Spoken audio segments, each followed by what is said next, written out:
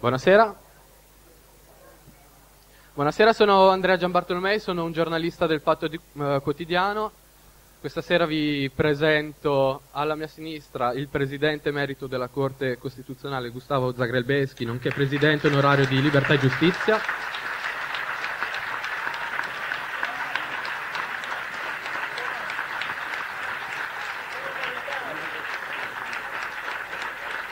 Alla mia destra invece c'è Giuseppe Civati, deputato del Partito Democratico e candidato alla segreteria del congresso quando avverrà il congresso, ancora non lo sappiamo. Sta per incominciare una stagione politica che in questi mesi estivi è stata molto ferma, molto chiusa sui soliti discorsi per addetti ai lavori e politicanti. Abbiamo i due principali partiti che sono fermi sui eh, soliti dibattiti. Da una parte c'è il, il PDL, arroccato nella difesa di Berlusconi, dall'altra il PD che è di nuovo fermo sulla discussione, sulla scelta del leader. E, e poi cosa succede? Succede che all'approvazione, quando si deve discutere della cancellazione dell'IMU, vengono, le cose vengono fatte male. Si perde un po' il punto di vista della realtà con questa politica ferma su se stessa? Porgo la parola a, a Zagrebeschi.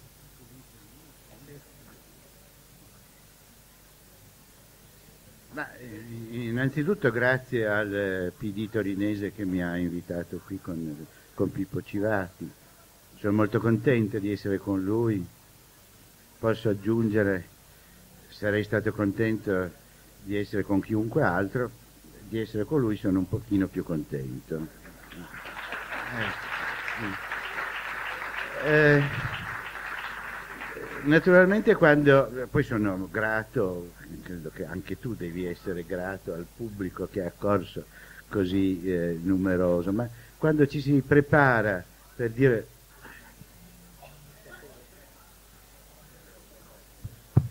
quando ci, adesso funziona meglio, quando ci si prepara per un incontro pubblico, il primo problema è come cominciare. Ecco, a me è venuto in mente un articolo del 1991, scusate, io sono per mestiere leggo e cerco di studiare. I nostri politici farebbero bene a leggere e studiare anche un pochino loro è venuto in mente questo articolo di Norberto Bobbio, che era 1991. Eh, non si sente?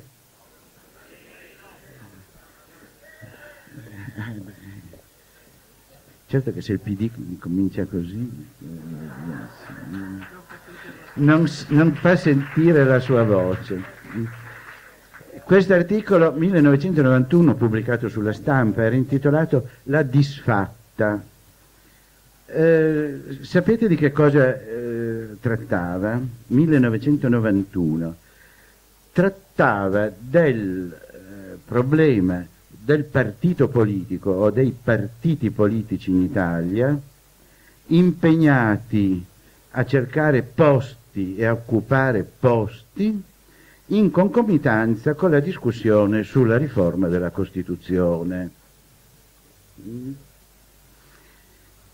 Siamo lontani da quell'epoca e naturalmente questo, questo ricordo mi ha fatto piombare in un'atmosfera di, di, non di malinconia, malinconia è un sentimento rivolto al, al, al rovescio, ma diciamo di depressione.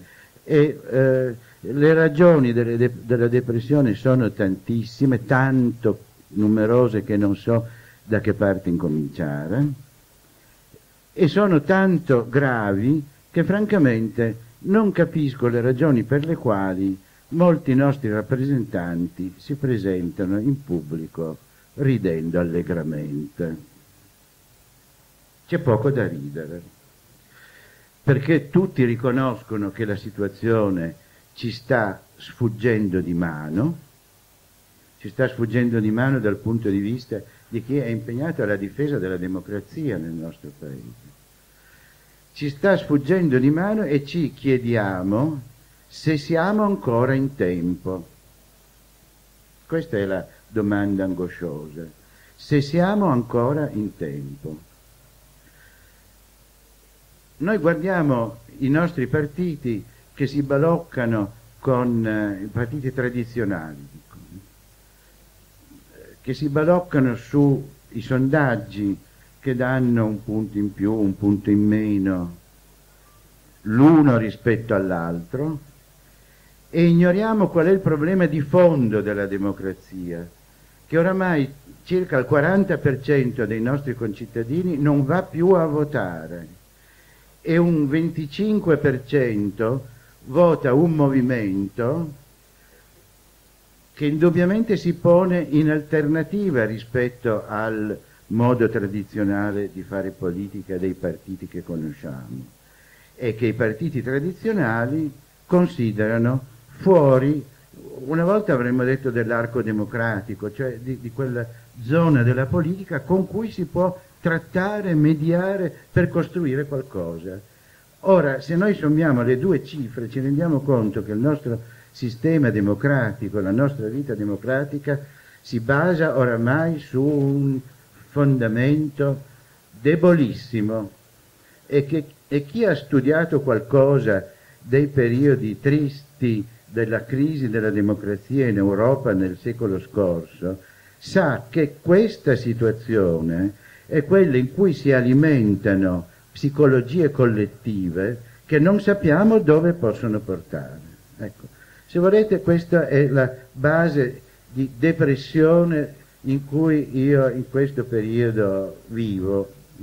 Adesso speriamo che Pippo Civati ci faccia sorridere, ci tiri un po' su di morale. Ecco. Adesso quanto tempo mi lasci per...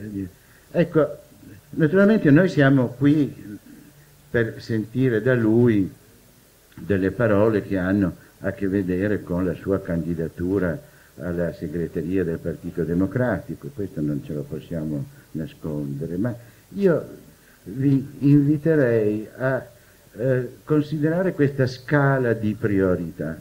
Abbiamo un grave problema democratico, quello che dicevo. Abbiamo un grave problema politico perché da qualche anno in Italia non c'è più politica. La politica è l'attività degli esseri umani che è rivolta alle scelte. Si fa politica se si, pre- se si preferisce una cosa all'altra e si agisce per realizzare quella cosa piuttosto che un'altra. La anomala maggioranza che abbiamo non è una maggioranza politica in questo senso. Guardate quello che succede.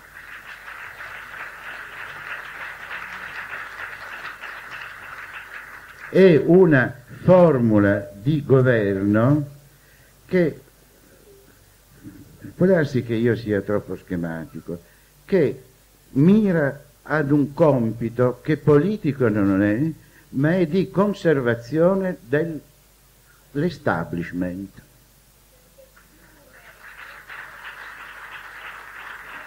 Io ho detto più elegantemente establishment, ma guardate quello che, eh, che è capitato con l'aiuto eh, del sistema elettorale che ha impedito la formazione di una maggioranza chiara, in particolare al Senato. Però si è eh, costituito un governo che più contro natura di così non potrebbe essere dal punto di vista politico. Ha messo insieme le due formazioni che si sono affrontate eh, in resta nella campagna elettorale. Può darsi benissimo che, che fosse una soluzione obbligata, darsi, non è questo che voglio dire, non sto accusando nessuno, sto dicendo che in Italia da qualche tempo non si fa più politica, perché non si sa più scegliere, dovendo stare tutti insieme, semplicemente si mantiene lo status quo e le misure governative che sono state prese sono state semplicemente delle misure per tenere in piedi la situazione che c'è, ma di scelte non se ne fanno, di politica non se ne fa. Se volete la rappresentazione più evidente e più, diciamo, anche umiliante per una classe politica è stata la rielezione del Presidente della Repubblica.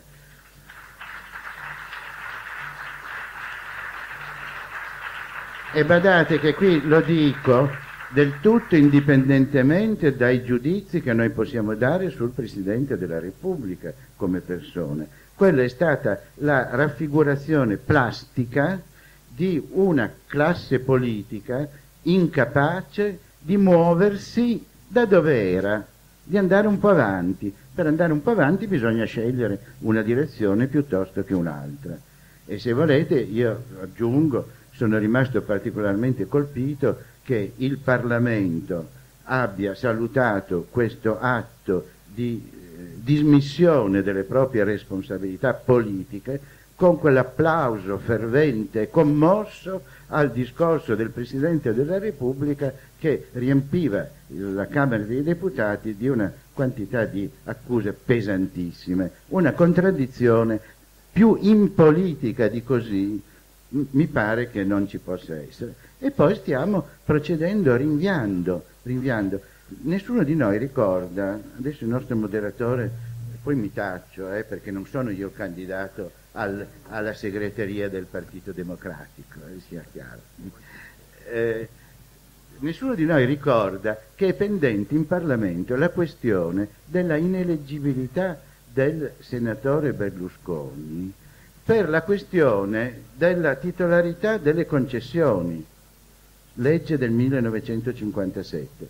Si è rinviato, nessuno ne parla più. Adesso ci troviamo il 9 di fronte, io penso, scusate, io penso che il governo non cadrà, io penso che si da, arriverà a un, una dilazione, si andrà avanti guadagnando tempo, si andrà avanti rinviando, rinviando. Ma badate, io qui dicevo, non, eh, in Italia non si fa politica, in realtà si fa una politica. E la politica è quella che si svolge giorno dopo giorno davanti ai nostri occhi, e cioè licenziamenti, chiusure d'impresa, ristrutturazioni, tagli alla spesa sociale, tutta questa è politica ma sembra che non ci sia alternativa. Politica, non so, avrò poi il modo di ritornare a parlare, perché se no, se no... Cioè, l'impressione è che noi siamo, che stia succedendo qualcosa, che stia succedendo qualcosa di cui noi non ci rendiamo conto, che questo blocco sia qualcosa di voluto, e di funzionale. E di funzionale a che cosa? Beh, nella sfera pubblica, eh, la sfera pubblica è la sfera del potere. Funzionale a qualche potere che noi non vediamo. Sarebbe utile che qualcuno ci spiegasse che cosa è, ma che noi non vediamo. Non vediamo chi sono i titolari di questo potere. Sono i mercati, è la Banca Centrale Europea, e la pressione di gruppi anonimi, le banche, le banche eh, sistema bancario mondiale, la finanza mondiale, la finanza mondializzata. La finanza è quella zona di attività economiche che si appropria, altro che Marx che parlava di, di, di plusvalore dei, dei capitalisti. I capitalisti producevano plusvalore, quelli buoni, eh, quelli che noi eh, i Buddenbrock, Thomas Mann, producevano plusvalore per riversare quello che ottenevano in termini di plusvalore nell'ammodernamento delle imprese. La finanza mondiale invece si appropria, espropria questo plusvalore per un gioco del tutto indipendente e noi quindi abbiamo di fronte uno scenario mondiale in cui le ricchezze dei potenti in questo sistema aumentano esponenzialmente e la povertà dei popoli aumenta in maniera proporzionale. Ecco, qualcuno ci deve spiegare come funzionano questi meccanismi, perché solo se noi li capiamo possiamo mettere in piedi delle politiche che servano a contrastarle. Concludo questo mio primo intervento eh, con un riferimento a un mito. Eh, ho avuto modo di, di, mi è venuto in mente questo, questo, questa figura mitologica che è l'uroboro. Voi sapete che cos'è l'uroboro? No, ecco, allora questo incontro di questa sera potrebbe avere un significato positivo anche solo perché uscendo da qui andrete a casa, no? come diceva il Papa, tornate a casa, Giovanni XXIII, e dite ai vostri figli, l'uroboro, ecco, l'uroboro è un, un'immagine mitologica che troviamo dall'Egitto alla Mesopotamia, è un serpente, si dice, che si morde la coda. Versione edulcorata di un'altra realtà. Il serpente che si alimenta, si nutre dei suoi escrementi. Un'immagine straordinaria. Allora, usciamo dalla metafora. Forse il sistema in cui noi viviamo è un, un uroboro. L'uroboro è il potere. Il potere produce danaro e il, il potere si alimenta col denaro. Per la prima volta nella storia dell'umanità il denaro è, divena- è diventato fine a se stesso per alimentare questo meccanismo. In passato si spogliavano i popoli imponendo tasse, imposte di ogni genere, per costruire ponti, per fare opere pubbliche, per fare guerre, per la gloria di una casata monarchica. Ecco, ma oggi sembra che il denaro sia fine al denaro. In questo meccanismo dell'uroboro, è una bellissima e schifosa immagine, come facilmente capite. Dà bene idea, secondo me, del sistema. Chiediamoci, guardiamoci attorno, no, a cosa serve il potere oggi, essenzialmente? Serve a, pro, a produrre ricchezza per sé e la ricchezza aumenta il potere. Allora, io credo che il primo compito di una forza politica che voglia avere una funzione di rinnovamento, che possa parlare ai cittadini, che possa dare un animo alla propria presenza sulla scena politica, sia di rompere questo meccanismo, far sì che il potere non mangi più i suoi escrementi. E come si fa a rompere questo, questo meccanismo? In un modo molto semplice, immettendo nel potere programmi e progetti politici nell'interesse dei cittadini e non soltanto nell'interesse del potere.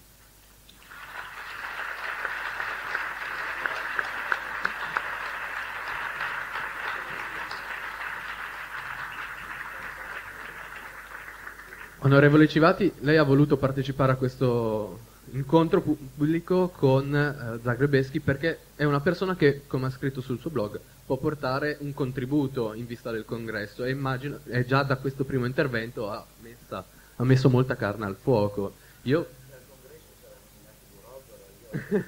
Uroboro segretario lo slogan efficace, ci stiamo lavorando. Stiamo lavorando. Uno dei temi eh, portati adesso è appunto questo clima di stallo e di pacificazione che fa sì che questo governo vada avanti giorno per giorno, è lì instabile, non si sa, un giorno Berlusconi dice se vengo dichiarato incandidabile lo faccio cadere e la mattina dopo smentisce tutto. Ecco, ehm, la pacificazione è un bene? Tu nel tuo libro che hai pubblicato di recente eh, non mi adeguo, parli tanto di conflitto inteso come dibattito, incontro, eccetera. Puoi spiegare un po' questa tua idea, sì. questa sua idea, scusa. No, dammi del tu perché ci mancherebbe anche no, che ci dessimo fintamente del lei davanti a tutti. Eh, Io intanto vo- volevo ringraziare il Partito Democratico di Torino, lo vorrei fare eh, perché i dissidenti nel PD sono trattati bene, diciamoci la verità. Ci hanno dato il sabato sera, siamo riusciti a coinvolgere Gustavo, è una bellissima serata, siete in tanti, ma il merito è anche di chi ci ospita. E lo vorrei dire, lo vorrei dire perché io vorrei fare un patto con voi da questa sera fino a Natale. Non so quando ci faranno fare il congresso, poi magari ne discutiamo. Però fino al congresso io vorrei che le polemiche le facessimo sulle cose serie, se riusciamo, che ci dividessimo sulle questioni di fondo e non sul gossip, che rinnovassimo la stima verso i nostri eh, avversari interni, chiamiamoli così, ma io ho stima, ho la fortuna di conoscere sia Matteo Renzi che Gianni Cooperlo e di aver avuto il piacere di seguire anche Gianni Pitella, quindi io penso che un congresso si faccia sulla qualità, non parlando male o sperando che gli altri vadano a sbattere. Quindi questo è il messaggio buonista, ma io ci credo, eh, perché se non iniziamo così facciamo una discussione tutta strampalata che ci allontana come diceva Gustavo, dalle vere questioni politiche, sulle quali io invece rivendico la possibilità di dire tutto quello che penso e quello in cui credo. E auguro che lo stesso faccia il Partito Democratico perché continuando a dire cose in cui crediamo fino ad un certo punto non siamo più credibili. E non è un gioco di parole, non siamo più credibili partendo dagli ultimi episodi, ma noi non possiamo aver rivendicato per anni l'uguaglianza di fronte alla legge, che è la prima e la più importante dell'uguaglianza da cui tutte le altre discendono, e aprire un dibattito sulla decadenza. Io per essere un po' decadente mi sono fatto crescere la barba e me la taglio il 9 settembre se il PD vota come deve votare, ma perché altrimenti sarebbe irreparabile tutto questo. E il caso, è il caso No, la barma marziana è il rischio, dice Zagrebeschi, perché potrebbero durare tanto le larghe intese, ma ho un piano che, a cui arrivo fra un attimo. L'altro esempio sul quale ci siamo soffermati tutti, che ha provocato anche un dolore personale, è stata la vicenda dell'IMU. Perché per, un, per una ragione politica che è precedente a tutte le questioni tattiche, perché poi ci si rimane male, non è che è strumentale dire così, io ci sono rimasto male, penso molti di voi perché noi abbiamo sempre detto che avremmo tassato il patrimonio per abbassare le tasse sul lavoro. L'abbiamo sempre ripetuto. Avevamo detto questo in campagna elettorale e almeno su un punto ci dobbiamo intendere, che le cose che diciamo in campagna elettorale alla luce di quella crisi della rappresentanza, se non le possiamo fare tutte, però non facciamo il contrario. Non so se mi spiego, un pezzo perché c'è il PDL, perché c'è Napolitano, che la larghe intese c'è anche scelta civica, Monti è diventato di sinistra, ci ha scavalcato negli ultimi giorni, arrabbiatissimo, però voglio dire, va bene tutto, ma io non posso fare il contrario di quello che promettevo in campagna elettorale, non è possibile. E la cosa bizzarra è che noi abbiamo fatto il contrario di quello che dicevamo nel pomeriggio del giorno stesso, perché fino al pomeriggio io dicevo, guardate, probabilmente si troverà un compromesso, toglieremo l'IMU sulla prima casa, ma per una soglia, come dire, del 50, 60, 70, era diventato un po' triste il mercanteggiamento sulle percentuali, però si capiva che c'era almeno una dignità rispetto alla quale corrispondere, e invece la sera è volata via tutta l'IMU.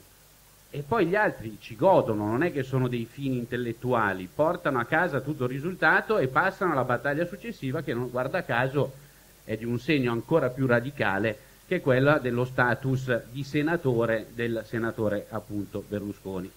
Quindi io rivendico tutto questo non per vincere il congresso del PD, perché non è, guardate, noi dobbiamo fare una prova con noi stessi e provare ad alzare un po' il tono della nostra discussione, provare a guardare alle questioni che ci hanno portato qui senza leggere le agenzie del giorno prima, le battute. Io per esempio sono coinvolto in un'eterna colluttazione con Stefano Esposito a cui mando un bacio, non so come si fa, no, per finirla, ma perché non va bene. Parliamo delle questioni di fondo. Allora ripartiamo, lo ha raccontato bene Zagrebeschi e gli vado, lo seguo, come dire, sui, sulle questioni, i nodi politici che abbiamo visto tutti. Perché tutta questa storia incomincia con una delusione, tu la chiami depressione, che però si è già manifestata nel voto. E noi non ci abbiamo riflettuto abbastanza sul voto di febbraio, perché noi non abbiamo vinto le elezioni potendo governare, perché abbiamo perso un voto su tre, immaginate uno, due, tre, a favore di Beppe Grillo. Uno su tre dei democratici magari presenti qui stasera ha votato Beppe Grillo. Abbiamo fatto pari con le nostre feste, le nostre amministrazioni, le tradizioni culturali grandiose da cui proveniamo, noi abbiamo pareggiato con un movimento un po' raccogliticcio dal punto di vista ideologico, io sono quello considerato più vicino al Movimento 5 Stelle, ma i limiti si vedono, però abbiamo fatto lo stesso risultato. E gli elettori hanno visto diminuire la loro partecipazione al voto come non era mai successo nella storia della Repubblica. Questi sono i dati fondamentali e non abbiamo speso un minuto per ragionare su quelli, sulla potenza di quegli eventi, non abbiamo speso un minuto per capire quali erano i motivi di questa lontananza. Ed è questa lontananza che noi dobbiamo saper interpretare, perché è, la, è la, il tema che ci frega tutte le volte. Una volta era la lontananza geografica e vinceva la Lega, la lontananza del teatrino della politica e si affermò Berlusconi. E noi ci siamo sempre di più chiusi nel palazzo, siamo bravissime in larghe intese, abbiamo un dottorato di ricerca, abbiamo studiato la fecondazione. Enrico Letta, che è una persona eh, che stimiamo tutti quanti, però quest'estate al meeting di Rimini, che è già un posto dove bisogna andarci poco o niente, secondo me, dice, dice,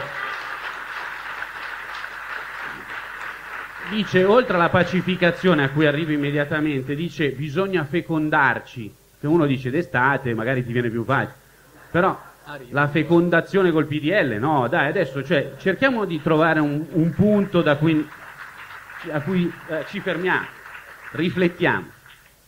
Allora la pacificazione perché è insidiosa pensando a quel percorso che poi ci ha portato a non votare Rodotà e persone pericolose come Zagrebelski come Presidente della Repubblica perché ce li presentava Grillo, che è uno degli argomenti più stupidi del mondo, perché a cominciare da Stefano Rodotà, io una bella riunione del PD di 3 o 4 giorni l'avrei fatta sull'argomento invece di dire no, non va bene, è, è, un narciso, dicendo delle cose tremende di Rodotà, non si, non si ritira, vabbè, fagli una telefonata, magari parlaci, no, era, era tutta la rovescia, però dicevo tutte queste, i 101, su cui poi ci sarà la solita tradizionale domanda sui 100, chi sono i 101, ci arriviamo a fine serata, però tutta questa storia, in verità, tutto questo percorso nasce proprio dal problema che noi non ci dobbiamo pacificare tra gruppi dirigenti, tra politici, tra persone che dovrebbero portare la rappresentanza, perché è un, è un controsenso, lo ha spiegato benissimo Zagrebelski. Se io porto, se io mi pacifico con le ragioni del PDL, mi annullo, il compromesso sarà sempre a ribasso, terrò fermo il paese. Questo è il problema. E il titolo del manifesto dell'altro giorno era fantastico, a commento dell'IMU, il titolo era Immobili. Perché di questo si tratta nella migliore delle ipotesi, di stare fermi e di non riuscire ad aprire come dire, nuove strategie per dare alle persone più benessere, una salvezza che non deve riguardare Berlusconi o noi o la legislatura o il governo. Noi non dobbiamo salvare il governo, dobbiamo salvare il paese e i cittadini che più rischiano e più soffrono, che sono le due categorie a cui secondo me la sinistra deve guardare. La pacificazione è un concetto pericolosissimo, perché la pacificazione va trovata attraverso il, la registrazione ovvia che questo è un paese molto diseguale, è un paese pieno di conservatorismi non solo ai livelli più alti, non solo nello scenario internazionale, ormai abbiamo tradotto, è una matriosca di, di status quo. Abbiamo convenienze dappertutto, abbiamo amici degli amici, abbiamo una classe intera di lavoratori che sono quelli più giovani di me, che assistono attoniti a un dibattito per cui si parla di diritti che arriveranno e non arrivano mai. Anche i precari sono diventati vecchi hanno, sono 16 anni che c'è il precariato in questo paese, nelle varie forme. E noi non abbiamo mai trovato un modo per rappresentare, non per pacificare, ma per, per avere un'interlocuzione, una rappresentanza, anche uno scontro con queste generazioni di lavoratori, ad esempio. Noi siamo un paese che vive ancora con sospetto le questioni dei diritti civili. Il dibattito sull'omofobia alla Camera, guardatelo perché c'erano degli ampi come dire, panorami medievali che poteva, sì, sopra c'erano degli interventi indimenticabili, che fanno pensare però che siamo immaturi, che ci spaventiamo per niente, che ancora parliamo con prudenza degli omosessuali e lo facciamo anche noi a volte nel centro-sinistra, questo è scandaloso, perché che ci siano i conservatori, vabbè, ma noi siamo un paese che vive con sospetto la discussione di temi diversi fuori dall'agenda, quella che ci hanno imposto del pensiero a cui tutti dobbiamo corrispondere. Ma insomma, l'ambiente non è un tema di nicchia, questo è un argomento sul quale noi dovremmo dedicare tantissimo lavoro e spiegare che l'ambiente insieme alla cultura e alla conoscenza sono collegati al lavoro. Non c'è bisogno di tirar fuori un compagno che sa di ambiente, no, che succede sempre così, verso la fine, l'una e mezza, alle due di notte, c'è la riflessione sull'ambiente, ma tu devi metterla all'inizio, come i diritti, quelli civili, quelli materiali. Devi fare politica in quel senso.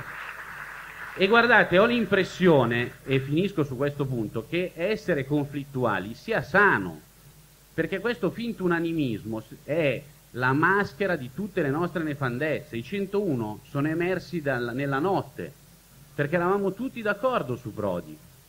E paradossalmente c'è ancora qualcuno che avvicina quelli che non hanno votato Prodi a quelli che non hanno votato Marini, ma la storia è esattamente il contrario. Cioè di Marini abbiamo spiegato perché c'erano tante perplessità, anche di spiegazione di comprensibilità, l'abbiamo fatto nel gruppo e invece l'ovazione ha salutato Prodi con i risultati che sappiamo. E guardate che se l'unanimismo nostro, il culto del parlarsi bene perché sennò diventi antipatico, Civati è divisivo, che capite io sono alleato di Brunetta della Sant'Anchè, il divisivo sono io, è un po' strana come cosa nella vita.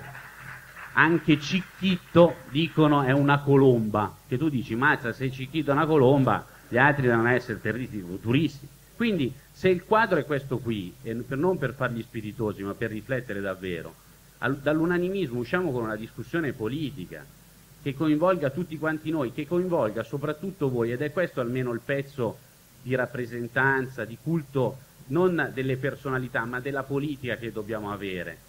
Che siate voi i protagonisti di questo congresso, che siate coinvolti quando ci sono le decisioni da prendere, perché non succede mai, a volte non succede nemmeno con i parlamentari, perché c'è, c'è il governo che se no, se voi votate la mozione Giachetti per tornare al Mattarellum potrebbe cadere il governo, quindi ti fanno ritirare 100 firme che tu ci hai messo ti fanno contraddire la tua battaglia politica più importante, quella fatta due anni fa con tanti di voi, un milione e mezzo di firme raccolte, perché se no, perché la legge elettorale va fatta alla fine delle riforme costituzionali, ma noi non abbiamo mai discusso di questa cosa con voi, invece mi pare una delle questioni decisive. E vi faccio un ultimo esempio, ce ne sono mille in questa stagione, che parlano di un disagio che è solo una piccola parte di quello che tratteggiava Zagrebeschi, ma che è fondamentale che noi affrontiamo subito.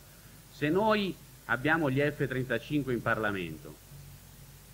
C'è un fatto politico banale, che noi avevamo promesso di prenderne di meno, giusto? Non si capiva quanti di meno, ma meno. E non possiamo prenderli gli stessi. E non possiamo nemmeno pacificarci con Mauro, che è un, un, il ministro cattolico strano, lui è un cattolico strano, perché dice che i cacciabombardieri sono strumenti di pace, che è bella forte come cattolicesimo. Però per arrivare a quello, che, a quello che vorrei che fosse però il cuore della questione, che se arrivano gli F-35, noi che siamo un grande partito, che siamo un grande centro-sinistra in cui per me ci dovrebbe essere Sella ancora, perché non sta né in cielo né in terra che noi non coinvolgiamo immediatamente Sella. Un centro-sinistra ospitale, ospitale di tutti i movimenti, perché qui fai il governo delle larghe intese, però se vai alla manifestazione di libertà e giustizia qualcuno te lo fa notare, siamo al, al rovesciamento della realtà. Se interloquisci con Landini sei un pericoloso estremista e tu dici ma no, no ma è così, eh, però è così davvero. Allora dicevo che una, un partito di questo tipo, se arrivano gli F-35, forse può anche pensare di raccontare cosa pensa della difesa, di dove spendere i soldi da quel punto di vista, se farlo a livello europeo, se avere una strategia di, quella, di quelle proporzioni, che non riguardi solo la nostra politica estera, che abbia un'idea da raccontare sul Mediterraneo prima che ci sia richiesto di esprimerci sulla Siria, che abbia l'ambizione di raccontare un mondo diverso, è questo il punto, mi dicono sempre, finisco davvero, come si fa a coinvolgere i giovani? Perché sapete, nel PD io sono ancora considerato giovane, perché nel PD con la riforma Fornero sei giovane fino a 67, no? Cioè, no, è così, funziona in questi termini. Ma come si fa a coinvolgere i giovani se non si ritrova un senso, una proporzione, un linguaggio che sia più ambizioso da quel punto di vista, dal punto di vista culturale, del sovvertimento di quei poteri che ci stanno condizionando così fortemente, del protagonismo delle persone e delle grandi popolazioni di questo mondo. Se non lo facciamo, guardate, c'è già un posto dove stare, si chiama destra. La destra è già abituata a tenere tutto così com'è.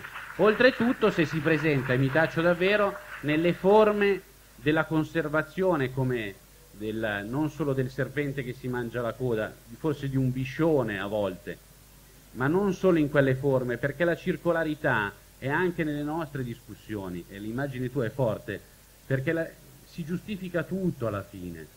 Si giustifica il caso Alfano, che uno dice ma se Alfano non fa più il ministro, è più forte il governo secondo noi, che siamo cattivi, non siamo entusiasti del governo delle larghe intese. Però non va bene che noi rimaniamo appesi sempre a un ricatto, perché non ragioniamo più, perché tutto si tiene, perché si parte da una, da una decisione si finisce davvero al suo contrario e non c'è mai un, mo- un momento per aprire un dibattito.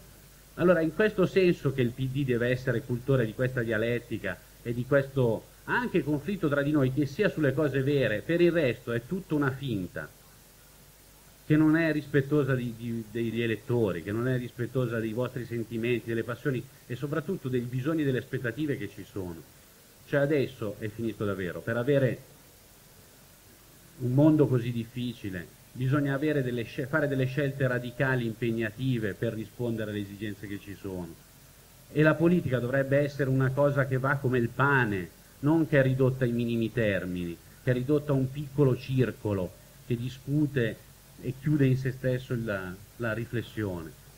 E questo è il tentativo che dobbiamo fare. Se lo facciamo, guardate, ma non è che vinciamo le elezioni che, che, sarebbe anche il caso, eh, perché nel PD c'è questa tendenza a pareggiare, no? che quando vinciamo dice quello là potrebbe vincere, non votiamolo, no? parla con la gente, è un populista, no aspetta, bisogna vincere le elezioni, però bisogna fare, partecipare di, del tempo in cui viviamo, di quello che succede a livello mondiale ma anche a livello europeo, a quello che succede ai nostri ragazzi, ai giovani veri. Io penso che questo sia il motivo per cui siamo qua questa sera, nelle altre sere delle feste e del nostro impegno altre cose non ce ne sono più, non valgono la pena e stiamo attenti a non cascare nella nostra retorica che è questa cosa strana che ci sta un po' negando, che sta negando noi stessi.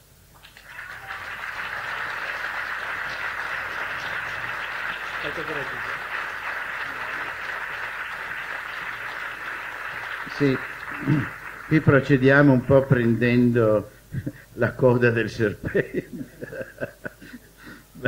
Poi, no, poi tu introduci gli argomenti, perché so che ne hai uno esplosivo per la fine. Ma dunque, eh, riprendo le, le, ultime affermazioni di, di Pippo Civati che dice che non dobbiamo usare parole finte, ha usato questo aggettivo finto. Dunque, eh, qualche giorno fa ho ricevuto un documento di eh, preprogramma, diciamo così, congressuale eh, di un tuo concorrente, non faccio il nome, è un documento già di 41 pagine, di 41 pagine e mi si chiede di esprimere eh, molto, molto cortese, io sono stato onoratissimo di essere stato eh, coinvolto in questo eh, esprimere le mie opinioni. Io ho eh, risposto caro, puntini puntini, eh, su 41 pagine non mi puoi chiedere una mia opinione, dovrei scrivere alcuni... E poi soprattutto non sono un tuttologo, quindi se hai delle domande specifiche, benissimo, io... Poi però ho aggiunto eh, due cose, che dico qui anche a Pippo Civara. Primo, Dicevo nell'intervento precedente, la politica è la dimensione della scelta. Se non c'è scelta non c'è politica. Se non c'è politica non lamentiamoci del disincanto delle nuove generazioni che si chiedono perché ci dobbiamo impegnare, ci dobbiamo far coinvolgere per sostenere cose che non hanno nessuna possibilità di esprimersi in politica. Dunque, se la politica è scelta, nei programmi politici tutto ciò che è ovvio non dovrebbe essere detto. No. Scusate, visto che questo riferimento ha suscitato qualche interesse, ricordo che, di essere stato invitato alla discussione del primo documento programmatico del Partito Democratico. In che anni eravamo? Dunque, voi ricordate che nel, eh, 2000, nel 1994 qualcuno era, virgolette, sceso in campo dicendo l'Italia è il paese che amo. Allora, applicando quella regola che vi ho appena indicato, si sarebbe mai potuto immaginare che un leader politico scendesse in campo e dicesse l'Italia è il paese che odio? No, è ovvio che è così, non merita di essere detto.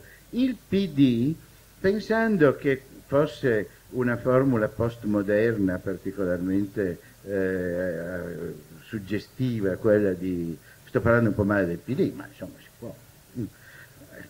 Eh, quel documento iniziava così, noi e vabbè, noi non siamo gli altri. Noi, virgola, i democratici, virgola, amiamo l'Italia.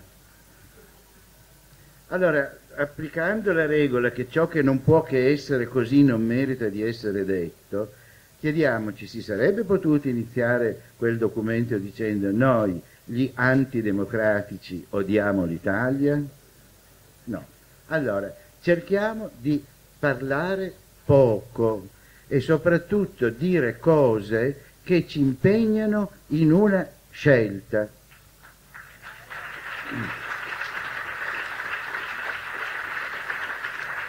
Perché in questi, in questi documenti, tra cui anche quest'ultimo, a noi non importa nulla che sia scritto che bisogna riformare la scuola per promuovere il merito, ma perché qualcuno dice che bisogna promuovere il demerito. Non ci importa questo.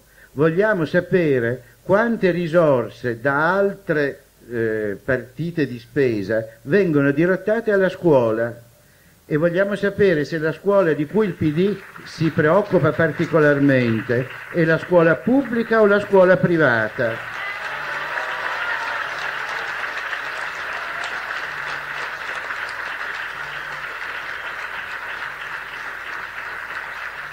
Questo vogliamo sapere. E la stessa cosa è per la pace. Chi scriverebbe che è per la guerra? Tutti siamo per la pace. Ma quali sono le politiche che vogliamo fare per la pace?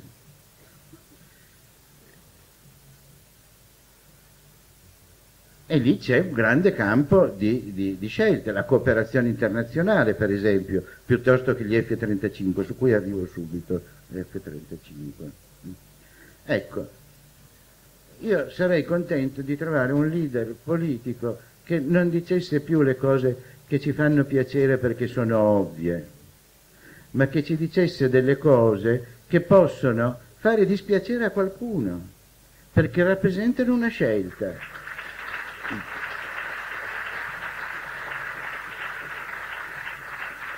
Seconda cosa, la formazione di una leadership in un partito, di una classe dirigente, adesso ci sono qui la parola dirigente, non so, tu, tu ti consideri un dirigente? Spero di no, perché quando qualcuno dice eh, io sono un dirigente, ma di che cosa dirigi? Mm. Eh, allora sarebbe bene che dicesse io sono eh, occupa una posizione di responsabilità in questo partito e in questa posizione di responsabilità sente il dovere di ascoltare il più possibile le esigenze di quella parte della popolazione che io voglio rappresentare. Il concetto di dirigente viene da un'altra epoca. Perché stavo eh, dicendo questo? Ecco, come si forma una leadership in un partito? Guardate, non, una leadership che, che, possa parlare ai cittadini, che possa parlare agli elettori, che possa riscaldare animi che si sono raffreddati nel frattempo. Non la si riscalda con i documenti, neanche con quei documenti che dicevo prima, quelli che scelgono. La si riscalda con dei comportamenti, con comportamenti che si tengono quotidianamente, prima del congresso, dei congressi, indipendentemente dai congressi. Poi nel congresso ci sarà eh, confronto tra varie posizioni che non sono costruite sui pezzi di carta, ma sono costruite su esperienze, su impegni, su spendersi, su combattere, su anche essere sconfitti, ma su cose che si fanno. Esempio, F-35. Qui adesso io non siamo favorevoli agli F-35, il problema è, è più complicato, non si può mettere solo così, siamo pro o contro, è un pochino più complicato. Ma quando è arrivato un diktat alle Camere che diceva voi non potete discutere degli F-35, che è una cosa che dal punto di vista costituzionale mi permetto di dire, Andrea Giorgis è qui, non so cosa ne pensa, penso che non sia d'accordo con me perché non ha alzato il dito a dire che non era d'accordo. Siamo nel campo della politica estera. Dall'Ottocento in poi la democrazia ha fatto dei passi importanti e difficili per trasportare i problemi della politica estera che una volta erano riservati agli alti comandi, alla corte del re, era politica riservata, diciamo. Si sono fatti dei passi per democratizzare la politica estera. Ecco, allora un leader politico che si mh, propone con una propria personalità, io mi sarei aspettato che in quell'occasione sollevasse il problema e dicesse il Parlamento in quel mo- momento su questa questione importante, gli F-35, ma in genere la politica estera, non può essere espropriato. Altri esempi. L'Europa, altro tema che eh, diventerà d'attualità perché l'anno 21 c'è la, mm, c'è l'elezione del Parlamento europeo. L'Europa è un tema, di, riconosciamolo, che non appassiona. I giovani, categoria dello spirito, non si infiammano per l'Europa così come la conosciamo. Ma l'Europa come era stata pensata negli anni 50, quella sì che era un progetto entusiasmante. Ed era in quel contesto lì che la nostra Costituzione, articolo 11, dice che l'Italia è disponibile a rinunciare a trasferire quote di sovranità interna a organizzazioni sovranazionali, ma non purché sia, a organizzazioni internazionali che mm, operino per il progresso e la pace tra le nazioni, la pace e il progresso e la giustizia tra le nazioni. Ecco, ora ditemi voi, rispetto all'Europa, la politica italiana è totalmente appiattita. Questi valori, che sono quelli in nome dei quali noi siamo contenti di rinunciare a una parte della nostra sovranità, no? la pace, il progresso, la giustizia tra le nazioni. Ditemi voi se l'Europa in questo tempo è, eh, è a posto, ha la, ha la coscienza a posto guardando che cosa succede in Grecia, quali sono le politiche, eh, le politiche monetarie del, del, di certi paesi importanti. Ecco, lì non è il caso di mobilitare le energie in Parlamento. C'è qualche leader politico che ha sollevato seriamente questo problema del come stare in Europa, portando animo, spirito. Diritti, cioè, avrei tanti, tanti esempi da fare. I diritti civili, ma l'hai citati anche tu, ma i diritti civili, ogni, quando si affacciano, c'è qualcuno che dice non, son, non sono la priorità. No? C'è ben altro, c'è ben altro. Andatelo a raccontare a chi della mancanza della tutela dei diritti civili porta le conseguenze quotidiane nella, nella, nella propria esistenza. Andatelo a raccontare che non sono questioni prioritarie. E poi non è mica detto che se si fa una cosa non se ne può fare un'altra. Ecco. Allora anche lì una battaglia visibile, anche a rischio di scontentare gli equilibri, le intese, di diventare divisivi, mi fa piacere. Il, il, no, il divisivo in democrazia è un valore. E non fino al punto di portare alla catastrofe, ma la democrazia è per l'appunto il confronto di progetti diversi gli uni dagli altri, ci si deve dividere. E se si viene sconfitti è molto meglio che non nemmeno aver sollevato il problema, perché a quel punto se tu non sollevi il problema nessuno ti andrà più a votare, perché ci sarà una carenza di rappresentanza. La legge elettorale, ecco, la legge, questa è mi fa, cioè, spero di poter dire qualcosa sulla legge elettorale, ma ho già parlato troppo. No, no, no. no ancora 5 minuti per parlare della legge elettorale. Dunque, allora, qui il mio mm, cattivo umore raggiunge il, il massimo. Quanti anni sono che si dice che si fa la legge elettorale? dopo il Porcellum, praticamente subito. Quando la Corte Costituzionale ha sciaguratamente, mi permetto di dire, bocciato i referendum, perché se, fossero, se ne fosse stato ammesso almeno uno, avremmo con ogni probabilità avuto il ritorno al Mattarellum, che non è l'optimum, ma è certo meglio di quello che abbiamo. È stato bocciato perché anche lì, diciamo, la coincidenza di situazioni oggettive, perché dare via a quel referendum si diceva avrebbe avuto degli effetti destabilizzanti del governo allora Monti, che quindi non se ne è fatto nulla.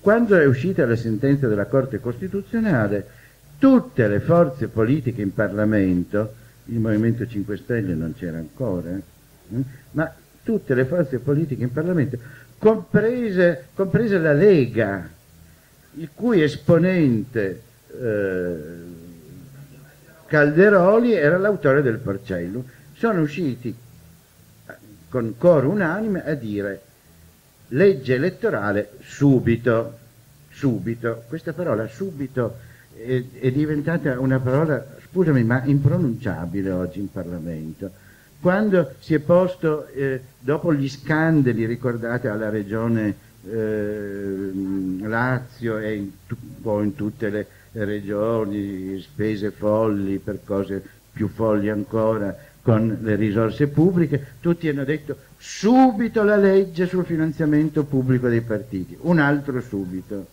Allora, per favore, non, non diciamolo più subito, subito vuol dire mai, mai più. Ecco, per la legge elettorale è così.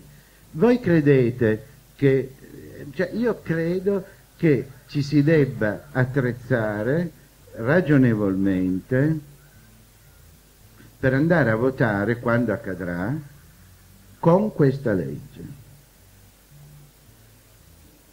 Insomma, l'esperienza che abbiamo alle spalle dimostra che, che le leggi elettorali non si cambiano eh, e soprattutto l'altro giorno il Presidente del Consiglio a Genova ha detto una cosa la cui contraddizione è patente, a mio modo di vedere. Ha detto, questo governo arriverà presumibilmente al 2015? È già tanto, eh? è già tanto. Mm. Però da ottobre ci impegniamo a cambiare la legge elettorale. Dove sta la contraddizione? Se a ottobre si cambia la legge elettorale, si va a votare a novembre, perché la, quando si fa una legge elettorale nuova, il Parlamento in carica non è più legittimato. Allora tu non puoi al tempo stesso volere una durata indeterminata del governo e, cam- e voler cambiare la legge elettorale immediatamente. Quello che secondo me eh, significa mm, l'affermazione del Presidente del Consiglio per cui a ottobre si lavorerà sulla legge elettorale equivale al legge elettorale nuova subito, cioè mai, anche perché mantenendo questa legge elettorale siamo sicuri che non ci sarà lo scioglimento anticipato delle Camere. Quindi questa legge elettorale è nell'interesse delle gerarchie dei partiti, questa legge elettorale deve essere mantenuta perché così si sa che non si andrà a votare, però si dice ci stiamo lavorando, ma non ci illudiamo.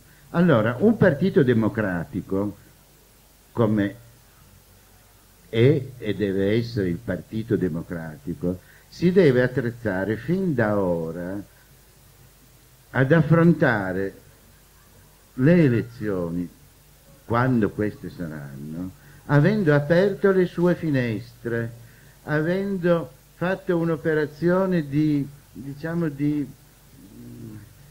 dire, di seduzione di quella parte della nostra popolazione che è cioè, noi, non ci, noi, non ci, rendiamo conto di che cosa sta accadendo nel nostro paese. Se leggiamo solo i giornali e guardiamo televisio, eh, la televisione, abbiamo una visione della vita pubblica, sociale del nostro paese, grossa così.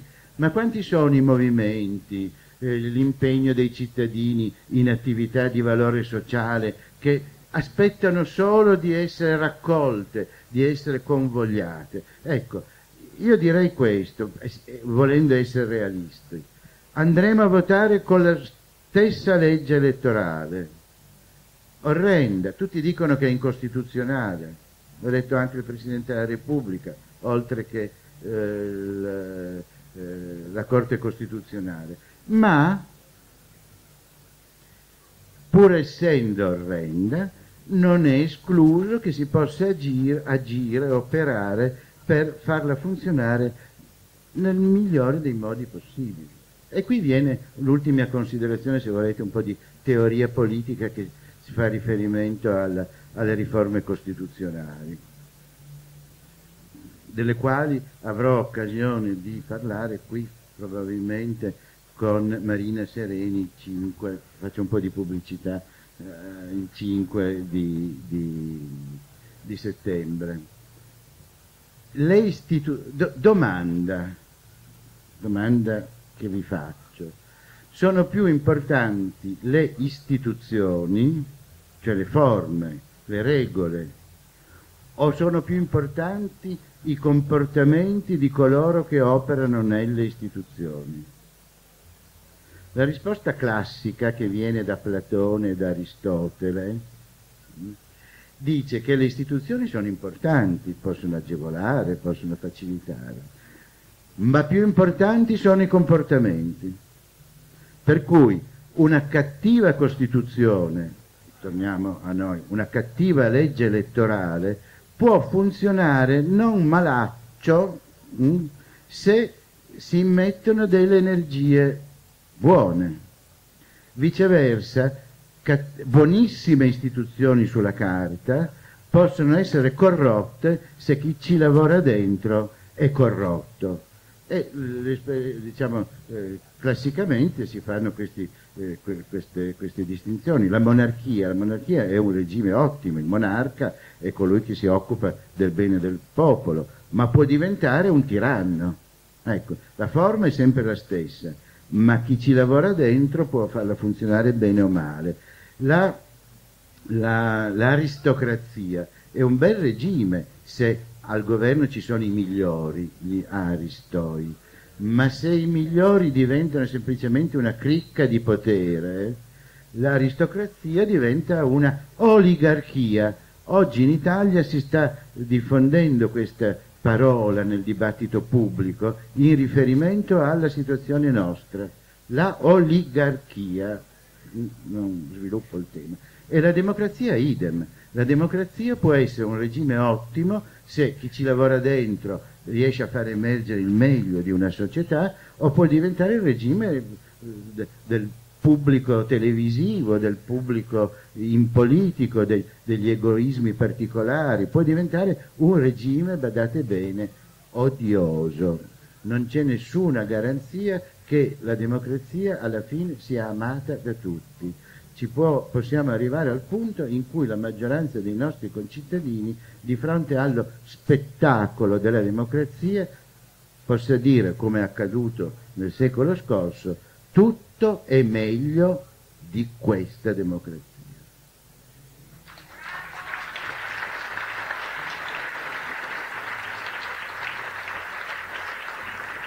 Tornando sul tema del Partito Democratico e dell'apertura ai movimenti. In che maniera il Partito Democratico può e deve aprirsi ai movimenti, evitando magari anche quelle forme di attacchi che avete subito tu e la Puppato che guardate alla ah, gente contraria agli F-35 e venite accusati per questo di populismo e in che maniera potete aprirvi e evitare così di passare per populisti? E come deve reagire l'apparato anche, la dirigenza? Ma io sono una, una, precisazione, sono un po' più ottimista di te. Io spero che questo Parlamento la legge elettorale la cambi. Lo dico in, non in contrasto ovviamente con le tue riflessioni che sono eh, più che sensate e purtroppo nel loro pessimismo molto ragionevoli, ma perché se noi non cambiamo la legge elettorale aumentiamo i motivi di disperazione, di depressione che tu descrivevi all'inizio. Io non so se abbiamo ancora molto margine per mantenere un filo di credibilità con le persone, quindi è il caso che su questo ci impegniamo tutti. È vero che la poesia passa perché le persone che sono al lavoro sulla riforma della legge elettorale sono le stesse che lo erano quantomeno già nello scorso anno, quando c'era Presidente del Consiglio Monti. Quagliariello, che è uno dei miei preferiti, era già allora al lavoro e allora la soluzione era un modello ungherese che sembra una battuta da festa ma è vero, cioè noi avevamo il modello ungherese come faro di quella discussione. Quindi è vero che ci sono motivi per pensare che la discussione non si risolva, però la politica lì può fare capolino finalmente. E quindi a Beppe Grillo che da ultimo si è messo a fare un ragionamento molto meno virtuoso e significativo di quello di Gustavo, dicendo la legge non la cambiamo, tanto la prossima volta vinciamo noi e la cambiamo noi. Allora, siccome già questo modo di ragionare è un filo discutibile dal punto di vista della pratica democratica, perché la legge elettorale sarebbe, è una di quelle cose sulle quali le intese più larghe sono, meglio è, credo, per la, il rispetto delle posizioni di tutti. Il punto vero è che io adesso ai parlamentari del Movimento 5 Stelle questa domanda la farò direttamente poi mi accusano di parlarci insieme perché appunto non è strano avere conversazioni con la Biancofiore che è una che sapete con me ha avuto dei momenti romantici e però se parli con uno del Movimento 5 Stelle i tuoi ti guardano male e Grillo dice che sei un cane da riporto. Io avevo capito che nel Parlamento fosse l'occasione straordinaria per misurarci non solo con i colleghi di partito ma anche per le i rappresentanti degli altri gruppi, per capire come mai ci sono 150 ragazzi in Parlamento, per contribuire magari a capire di più io e anche loro, forse che a volte sono un po' ingenui e hanno quest'idea curiosa per cui bisogna attaccare tutti, che è l'unico modo per conservarli. Io lo dico sempre, Casaleggio deve essere uno della famiglia, deve essere Johnny Letta, uno dei parenti, è un amico delle larghe intese Casaleggio. Perché continua a dire non parlate con nessuno, ma vorrei, no, è così, e, lo, e ci tengono su di fatto, facendo, continuando a urlare di fronte a qualsiasi proposta sull'omofobia, cerchiamo di migliorare la legge, ci attaccano perché siamo dei, dei venduti, aiutateci a, a, modificare la legge se siamo d'accordo. Poi ci avete ragione su mille altre cose, forse, ma su questa non dovete attaccare chi è più vicino a voi, come hanno fatto puntualmente anche sui cacciabombardieri, sul sistema elettorale Pensate che il Movimento 5 Stelle la mozione nostra l'ha votata solo dopo che noi avevamo deciso di ritirarla. Io erano tre giorni che nella mia attività da, di cane da riporto avevo segnalato che c'era la mozione Giachetti e che sarebbe stato gradevole avere un'opinione del gruppo del Movimento 5 Stelle che è peraltro uno dei gruppi in assoluto più numerosi, dopo il nostro e il secondo, diciamo, in quel Parlamento, sul punto, per capire se non potessimo, anche attraverso il contributo delle intellettualità, dei, dei giornali, come si suol dire, ah, no, forse avremmo potuto in quel caso aprire un dibattito un po' più ampio e un po' più alto e magari anche portare un voto diverso in Parlamento. Invece prevale la tattica e io spero che questa sia una cosa che nei prossimi mesi cambi perché non ricordo più chi lo diceva, ma qui siamo di fronte al rischio che ci sia la disaffezione anche verso quelli che hanno coltivato la disaffezione, che hanno preso i voti in ragione della disaffezione verso gli altri. Dopo semplicemente le persone non vanno più a votare, che è, un, è il delitto perfetto a quel punto, no? di una democrazia che non funziona. Io adesso mi ricordo più la tua domanda, però me la rifai perché mi sono perso sul sistema elettorale. Eh, eh professor Zagrebeschi ha detto che in vista di possibili elezioni bisogna aprire finestre e fare entrare. Ah sì ecco. sì, no certo. Nonostante, beh, a prescindere dalle sono, elezioni, il Partito Democratico dovrà gli esempi sono innumerevoli. Eh. Il, il, primo, il, primo, che mi viene in mente, così la ricordo e esprimo solidarietà e vicinanza che questa sera, è quello di Cecil Chiang. Perché noi siamo un paese di stronzi, dove le persone si permettono di dire cose inimmaginabili hanno dotato uomini primitivi di Facebook e scrivono cose vergognose la mattina alla sera. Tra l'altro forse incontrerò Tosi, così glielo dico dal vivo fra qualche giorno perché no, lui fa i distinguo, lì non c'è da fare i distinguo, c'è da cambiare e la Lega sono vent'anni che fa quel razzismo soft, no? Eh, che, che ci ha rovinato culturalmente. Però dicevo, Cecil per sostenerla noi dobbiamo riempire lo spazio che lei copre e rappresenta anche politicamente, non solo con le buone parole. Dobbiamo portare non solo in questo Parlamento, ma nelle sfide future questo tema con lo stesso coraggio che lei ci mette, perché altrimenti rischiamo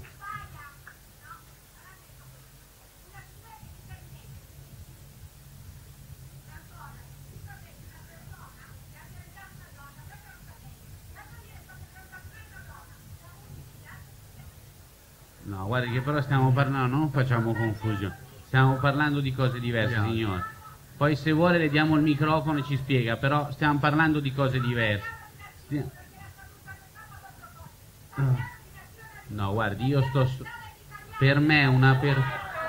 Signora, stiamo, stiamo dicendo cose diverse. Forse un po' sì. Allora, riprendiamo il punto. L'esempio però è quello di non avere... Dai, però chiudiamola qui perché facciamo degli esempi dello stesso segno, però su questo non possiamo avere solo dei simboli no, per il dibattito pubblico, per ingaggiare delle polemiche, dobbiamo anche sostenerli e riempirli politicamente dal punto di vista del diritto, del riconoscimento della cittadinanza e finalmente concependo la cittadinanza non come una concessione, facciamo uno sforzo, tiriamo fuori un po' di coraggio, di dignità costituzionale, non è che riconoscere le unioni civili o quelli che io chiamo matrimoni gay perché non ne posso più di sentire civil partnership, no?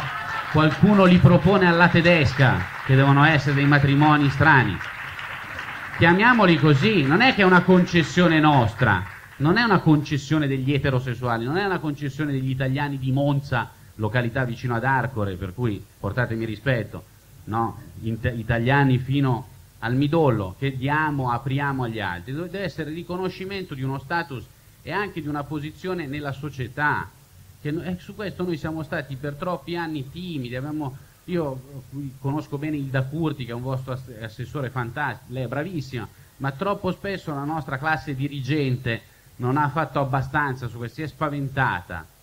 E, e gli esempi in sono... casi spesso ben, c'è ben altro da fare, perché si guarda c'è ben altro. Alla, c'è ben altro da fare, però quando c'è da fare lo spottone estivo si fa il decreto legge sul femminicidio. Allora, per rispondere alla tua domanda, io la prossima volta che facciamo un decreto legge sul femminicidio, magari facciamo partire le cose dal Parlamento ogni tanto che così ci danno da fare anche a noi, che sarebbe utile, magari prima le associazioni che si occupano di questi temi, le università, le persone che scrivono e riflettono, le ascoltiamo prima di fare il decreto, perché questa volta, e lo dico, questo non c'entra con la mia polemica o il mio dissenso rispetto alle larghe intese, perché non possiamo fare una cosa giusta che però non è fatta abbastanza bene come dovremmo farla, e leggere per tutta estate le critiche di tutti quelli che, di tutte, di tutti quelli che ne sanno qualcosa. Non è accettabile per un gran, una grande forza politica che esprime il Premier fare di, delle distinzioni in quel testo che sono molto scivolose tra la violenza perpetrata nei confronti delle donne incinte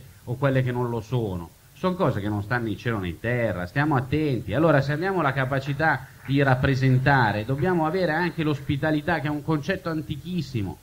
che viene dalla nostra storia più profonda di essere davvero un luogo dell'incontro e del dibattito per produrre cose nuove e migliori di quelle che conosciamo già. Questa è l'apertura che chiedo io. Un dibattito che sia razionale, perché io non lo so, ma noi abbiamo il dovere di organizzare un dibattito per governare, non per farlo e basta. Anch'io voglio le soluzioni, anch'io voglio la concretezza, però inizio a chiedermi, ed è questa la domanda che secondo me al congresso ci dobbiamo fare, se è più concreto chi dice cambiamo qualcosina di quello che già c'è o è più concreto chi dice proviamo a fare questa cosa in modo diverso, ragioniamoci insieme, ma guardiamo anche all'idea, al modello di sviluppo, a un dibattito che abbiamo lasciato morire in questo paese. Se uno ne parla, già dice il giornalista toglie il microfono.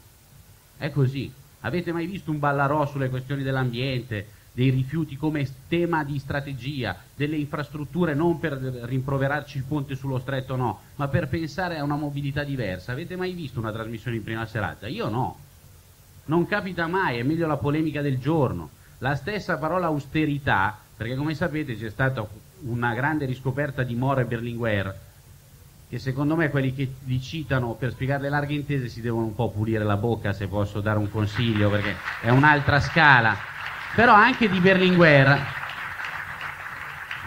si è presa una parola che, che non aveva un senso tattico, anzi dal punto di vista tattico fu sconfitta, ma ce l'aveva dal punto di vista politico e della grande strategia, che era quello dell'austerità tutti a parlare di austerità, ma l'austerità che vediamo ora un'austerità che anche nel caso dell'IMU alla fine non fa che, come dire, salutare le disuguaglianze che ci sono, è la miseria per i poveri che devono sostenere magari i guai che il serpente di qui sopra aveva provocato. L'austerità di Berlinguer era qualcosa di più, era un ripensamento, era un rovesciamento del punto di vista sui, sulle relazioni industriali, sul modello di sviluppo, sulle cose di cui parliamo se no quando c'è Marchionne. E non abbiamo gli strumenti, il PD si divide in 500 interviste, ci sono i tifosi di Marchionne anche, che uno dice, eh, ma lì è la Fiat, cioè noi siamo un partito politico, cioè anche in questo, no, nella, nella, difesa di una nostra constituency, di una nostra ragione d'essere, di una nostra vocazione, noi dobbiamo essere molto più duri.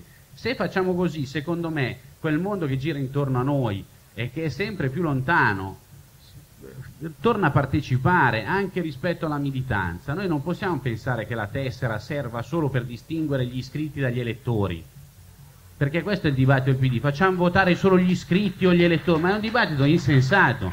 Perché uno si iscrive al PD? Perché forse gli dai degli strumenti per partecipare e per decidere. Questo è il punto. Quando io proposi referendum interni, che erano previsti dallo statuto del Partito Democratico. Mi guardarono tutti come un marziano, ma ci sono le primarie, noi scegliamo le persone, il leader, ho capito, ma sto leader poi cosa dice? E poi su alcuni temi non possiamo discutere insieme, abbiamo visto che ci possono essere posizioni molto lontane, ma non possiamo affrontare insieme anche per saperne di più, per avere le informazioni, per decidere insieme sulla base non di un richiamo della corrente. Sai, no, ti capita, a me è capitato di essere d'accordo con Fioroni sui cacciabombardieri. E tutti si sono spaventati, anche voi vedo, ma non, arrivo subito al punto, perché hanno detto è una strategia congressuale di Civati, un'intesa con Fioroni, vi rassicuro Fioroni non mi vota al congresso, il punto è che se stai in un grande partito e non ti basi solo sull'appartenenza della sotto, no, del gruppo della sottocorrente, scopri che alcuni punti di vista si possono trovare d'accordo, perché la tradizione del pacifismo del cattolicesimo democratico si incontrava con cose che dicevo io provenendo da un'altra tradizione. Io poi ho, ho anche inaugurato lo slogan for formidabile di mettete fioroni nei vostri cannoni che useremo in campagna elettorale, ma l'obiettivo è spiegare con forza che io, posso, io su, sulla questione costituzionale mi sento vicino alle cose che ha detto Rosi Bindi, per esempio, non per questo devo essere nella corrente di Rosi Bindi o viceversa ma perché ragioniamo? Siamo diventati scemi? Pensiamo che il mondo sia riducibile al PD. Il mondo è molto più grande. Il PD è una piccola minoranza, gli iscritti, i dirigenti del PD sono, una, sono polvere di stelle ah, quando sono, ci sono le stelle, non sono cinque, perché sennò è un altro tipo di polvere. La verità è che il mondo ha delle questioni che, da cui noi dovremmo partire. Quando io chiedo di, di discutere, di fare una, anche un dibattito, come si diceva una volta, di ascoltare le domande delle persone. Lo chiedo per questo motivo, perché vorrei che partissimo dalle esigenze, non dalle teorie nostre, che sono un po' ombelicali. E vi faccio l'ultimo esempio. per spiegare un concetto che per me è fondamentale, perché ci siamo cascati per troppi anni pensando che la modernità stesse sempre a destra. Anche nella stampa vicina al centro-sinistra, se uno è un po' di destra gli piace, oh, eh, non sembra, è riformista, uno dice ho capito, però io non mi sento tanto, no, no, ma tu devi seguire quello più a destra. Fin dai, te- eh, fin dai tempi di Berlinguer questa cosa succede, io andavo alle elementari ma avevo già capito come funzionava questo trucco. E la modernità a volte sta in posti dove non ce l'aspettavamo, perché questa riflessione sull'acqua pubblica che si è trasferita nel voto di 27 milioni di italiani, che sono la somma di tutti i tre principali partiti che non ci arrivano neanche a quella cifra lì, quella battaglia non era una battaglia solo sulla, dire, il capitale da reinvestire, la percentuale di remunerazione, no, era una battaglia sulla democrazia, sulla sovranità dei cittadini, era trasversalissima, partecipavano tutti. E invece all'inizio ci fu presentata come una cosa di nicchia. E il PD a livello locale la fece quella battaglia, a livello nazionale ci arrivammo gli ultimi 15 giorni perché? Cosa ha sbagliato lì in quel caso Bersani con i movimenti Ma bisognava ospitare, il PD doveva aprire le sue sedi e farlo insieme ai comitati quel dibattito e spiegare chi non era da, se Chiamparino non era da che uno di quelli che citavo prima, cioè un po' a destra piace. No. Eh no, è così. Allora, allora se anche un po' se c'è una posizione di Chiamparino, discutiamola insieme. Il PD serve a fare que- e arrivare alla fine, magari non tre settimane prima delle elezioni o dei referendum a decidere, però perché lì sappiamo, si sente il rumore, il suono e anche un po' l'odore di tattica, di convenienza, perché allora si vinsero le elezioni amministrative date per perse Milano e Napoli e allora dopo sembrava che potessimo votare anche, che avremmo potuto votare anche per il referendum. Però la politica è rischiare un po' di più, se possiamo dircela, è provare a coinvolgere le persone fin dall'inizio e farlo sulla base di un dettato che è il nostro, dell'esperienza che noi abbiamo, ma è sorprendente ed è un esempio per me efficacissimo. Ma perché parliamo dell'inceneritore di Parma, che peraltro sti ragazzi non è che hanno spento, perché poi alla fine la demagogia non è che ti aiuta sempre, no? A volte fa fumo anche la demagogia, però abbiamo spento noi quello di Reggio Emilia. Perché non riusciamo a orientare i satelliti? tutti concentrati su Parma, ma a Reggio Emilia c'è un assessore provinciale che ha dato l'avvio a un percorso diverso dall'inceneritore, ha spento l'inceneritore, fa la raccolta differenziata di sistema, arriva a percentuali inusitate, fa l'acqua pubblica perché si sta cercando di ricomprarsi, come dire, una società gestita in modo industriale efficientissimo, la quota parte che adesso in un grande gruppo industriale eh, come capita a tante città, come capita anche a Torino, a Mille, ma perché lo facciamo noi del PD? Non è PD anche quello? Non c'è un posto dove confrontare queste diverse letture. Io immagino un partito così. Posso dirlo, ci divertiremo anche un po' di più che a discutere di chi vince il congresso. Allora mi schiero con Pittella che è uno che vince. Va bene, però non è quello il punto. Cosa dice Pittella? Poi me lo spieghi, è meglio di me. Io alla fine tolgo il cappello e stiamo tutti dietro di lui, però parliamo delle cose da fare, perché ecco, altrimenti delle, delle grandi idee che ci motivano, altrimenti stiamo a casa. Parliamo delle cose da fare in vista del congresso. Hai delle politiche di lungo respiro? Hai già delle idee, dei progetti per il PD e quello che vuoi fare? Perché questo che immagino la gente qui presente voglia, voglia ascoltare da te oggi.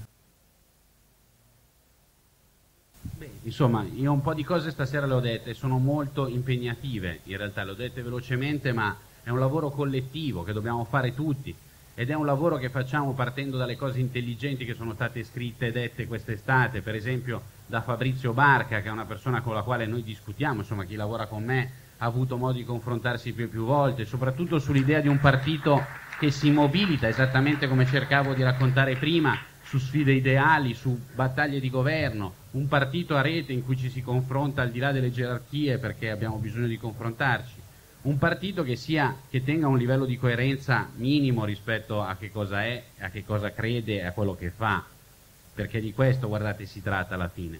E il lungo respiro si costruisce fin dalle prossime settimane. Se il PD scivola sulla questione della decadenza, ci vogliono anni a recuperarla quella roba lì. Io glielo dico adesso, poi dopo non ci vengano a dire eh, NFE come i 101, no, sono quelle cose paragonabili. Ieri sera hai detto una cosa ancora più forte, se il PD scivola sulla decadenza. Ci vogliono fai... 300 anni, come per, eh sì, per deca... perché decada nel senso nucleare, dell'esplosione nucleare, esatto. Eh, lo stesso è sulla legge elettorale e sugli impegni. Io penso, lo dico, non ho niente contro eh, chi è al governo in questo momento, però non si può dire che andiamo avanti due anni. per me non è possibile, lo dico sinceramente, non è serio. Anche questo richiamo al semestre europeo come se fosse il Ramadan, nel semestre europeo non si può pensare che non, che non si può preparare prima anche attraverso una campagna elettorale, sperando di vincerla, uno fa lavorare Letta che è bravissimo in questo campo e nel frattempo prefigura anche una posizione che tra l'altro poco prima del semestre europeo vedrà anche il momento in cui voteremo per le elezioni europee. Cosa andiamo a dire alle elezioni europee?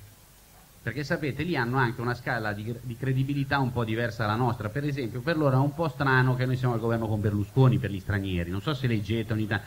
No, per dire che se tu fai la battaglia in Europa sui paradisi fiscali e l'evasione fiscale e stai al governo con quelli che hanno votato lo scudo politicamente dal punto di vista giudiziario sono condannati per frode, la pedagogia a livello europeo ti viene male, fai fatica a spiegarti.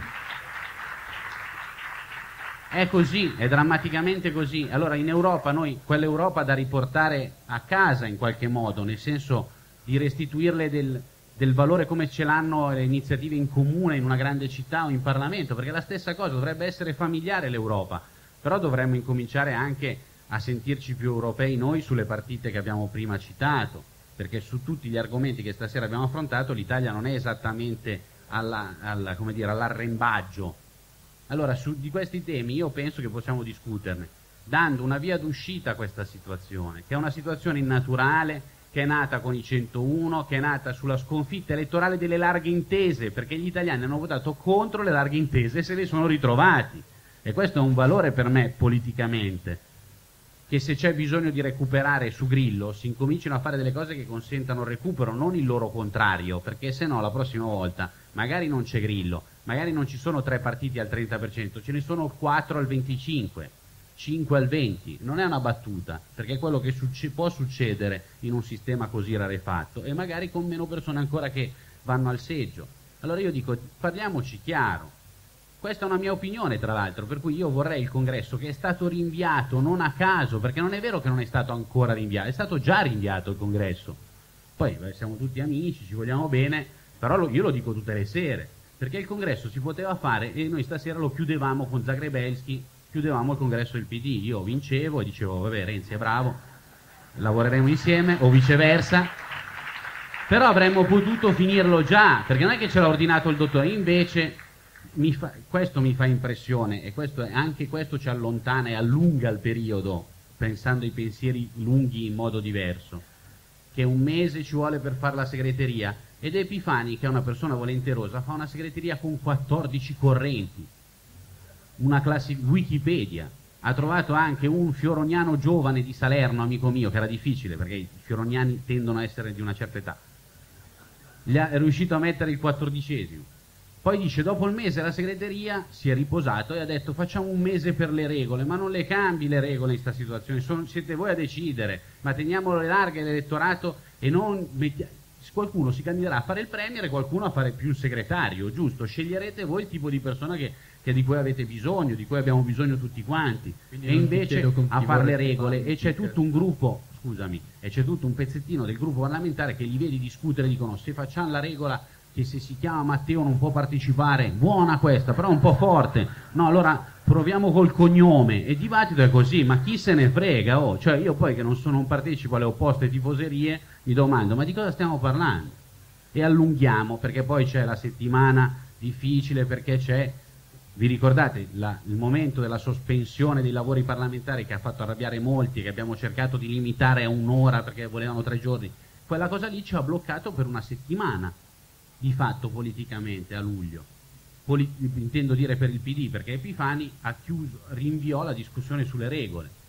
Rischiamo di non arrivare più lì. Allora, c'è l'Assemblea nazionale il 21 di settembre, facciamo questo congresso, partiamo, contiamoci come va, si fa in democrazia, contiamo le ragioni di ciascuno e se ci sono temi sui quali siamo già d'accordo, ma prendiamoli subito e usiamoli. Ho sentito che Renzi adesso ha mollato i chino e preferisce il contratto unico di Boeri. Siccome io sono d'accordo con Tito Boeri da quando Boeri era piccolo, no, faccia, facciamoli insieme, non c'è bisogno di dividerci, non è che uno è più amico di Boeri dell'altro, va bene così, se Cooper è d'accordo è fatta. Mi spiego? Cioè, utilizziamo questo congresso anche per spenderci immediatamente. Vi faccio l'ultimo esempio. Questo partito non fa più un volantino dal febbraio del 2013, non c'è più un manifesto del PD. Prima ne facevamo strani 6x3 un po' grigi per, per mettere alla prova l'elettorato e vedere se ci votavano lo stesso però adesso non facciamo più neanche la comunicazione, più, abbiamo, ci mortifichiamo, ci imbarazziamo un po'. E invece io qualche cosa la vorrei raccontare anche di quel buono che si riesce a fare in una situazione come questa e che fa il nostro partito in tutte le regioni nel frattempo, in tutte le città che amministriamo, nella vita che, che pulsa nel nostro paese. Insomma, o siamo orgogliosi noi di essere del PD, non possiamo chiedere agli altri di dirci che lo siamo, dobbiamo essere noi a trovare delle ragioni.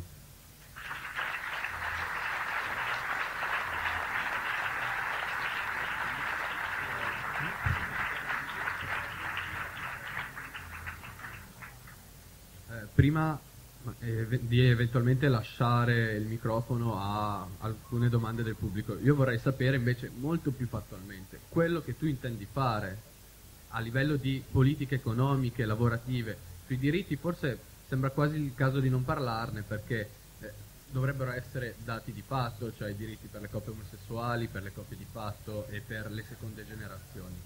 Parliamo di emergenze, magari visto che siamo in piena crisi economica in una città che soffre di problemi dovuti al lavoro, cosa intendi fare tu? Beh, Ieri no, hai incontrato il piccolo imprenditore. Il piccolo imprenditore l'ho incontrato che era arrabbiato con me, mi ha attaccato su Facebook, è un imprenditore di Arcore, lui è proprio arcorese, per cui mi sono un po' spaventato. Ah, piccolo nel senso piccolo, no, media dimensione, ah. nel senso che ha mi pare una, ha avuto più dipendenti, adesso ne hanno una quarantina, per cui non è proprio piccolissimo, sapete in Brianza abbiamo imprese quasi molecolari, quindi quella la consideriamo già una struttura imprenditoriale molto più solida.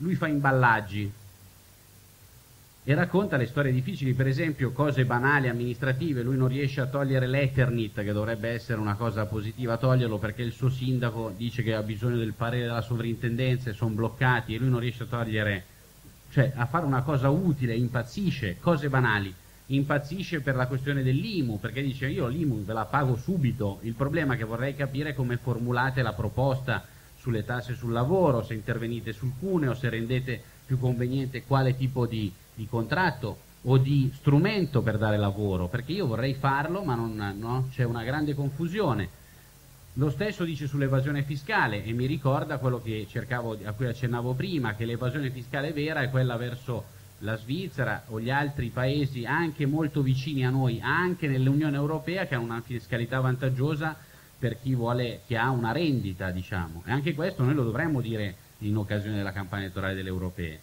Quindi sono questi due temi immediatamente, secondo me, sono da affrontare. Dicevo del contratto unico di Boeri, di dare garanzie subito immediatamente a tutti i lavoratori. Oggi abbiamo scoperto che i precari sono diventati la maggioranza, bella scoperta, non so se l'avete letto sui giornali. Il problema è che ancora oggi anche alcuni sindacalisti, amici miei, dicono eh, ma tutti devono partire con un contratto a tempo indeterminato. Sì, peccato che non succeda quasi mai. E quindi a quelli che invece incominciano col tempo indeterminatissimo, che, anzi con formule ancora più brutali, noi non gli diamo un diritto, non gli diamo una buona uscita quando finiscono, reiteriamo le prove di fatto. Allora la proposta di Boeri è quella di dare gradualità ma di rendere sempre più forte il lavoratore, fino a che non diventa un lavoratore come quelli che conosciamo nella tradizione, sempre che ancora ce ne siano. Allora questo è un tema sul quale discutere, secondo me, e questa è una misura da affrontare, costa un po' di soldi, cerchiamoli, cerchiamo di capire quanti ne servono, cerchiamo di capire se nel dibattito politico, e faccio un altro esempio per me fortissimo, quando Beppe Grillo in campagna elettorale parla di reddito di cittadinanza e da tutti i mille euro, è chiaro che noi dobbiamo dire che è una boiata di proposta, che non ci sono le coperture, però non è che la domanda non c'è o non ci sia, e non è che il reddito minimo in Europa, in tu, prima dicevo di essere più europei, in tutti i paesi europei uno strumento del genere c'è, costa troppo, capiamo, cerchiamo di capire cosa fare, però non è possibile che noi abbiamo la situazione che conosciamo nel mondo dei precari, dei lavoratori più giovani, ma non solo ormai, perché i diritti sono diminuiti da, per tutti.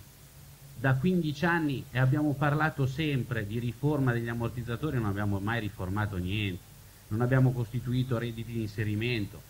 ha, abbiamo dimenticato un'intera generazione, guardate che si vede anche la crisi o alcuni suoi aspetti sono determinati dal fatto che quelli più giovani di me non hanno la stessa disponibilità al consumo, alla, a, a, progettare il futuro, a spendere, a investire dei soldi, perché non ne hanno. Sono marginali, hanno, e questo come lo risolvi se non dai mai un segnale da questo punto di vista? E allora non possiamo limitarci a una risposta che lì lo sbaglia. Eh no, cerca di capire perché se il reddito minimo, il reddito di inserimento può servire, può essere un'inversione di marcia, discutiamone, chi lo può fare se non un grande partito?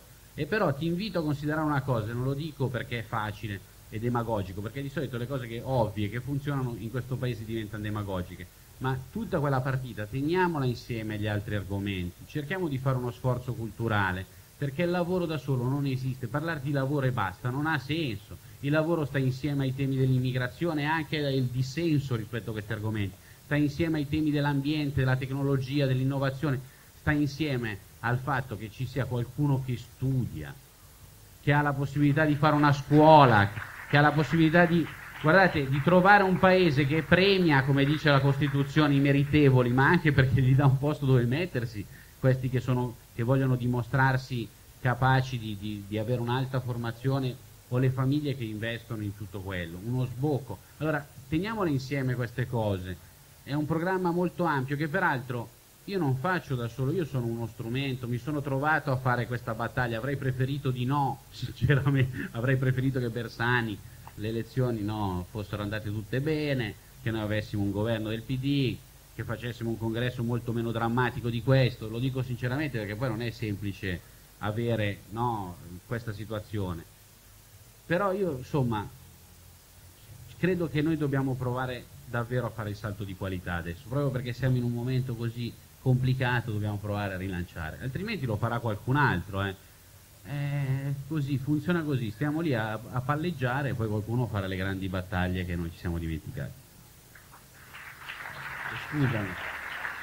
E dicevo, per chiudere, sono uno strumento e a me piacerebbe una grande campagna corale, io mi sono già storpiato il cognome, non è più Civati ma è Civoti, cioè no, nel senso che che ci sono tante persone che lavorano con me, c'è Daniele Viotti che è torinese che si occupa di diritti, ma ci sono le persone con cui interloquisco e con cui non mi stancherò di farlo, perché se io ho la, la fortuna di conoscere Stefano Rodotà, Maurizio Landini, Romano Prodi o tanti altri, anche, o anche questi matti liberisti, perché la cosa strana, caro Gustavo, che io ho un sacco di amici che sono un po' di destra davvero, ma che ragionano, che non sono conservatori, e che ti pongono delle questioni interessanti e noi non li consideriamo, noi ci piace la destra conservatrice, I, quelli liberali davvero ci, ci insospettiscono tantissimo, invece se io posso fare una campagna congressuale in cui stando a sinistra ragiono con chi fa cultura chi fa politica in questo paese, lo faccio perché ho una fortuna, un privilegio, lo vorrei fare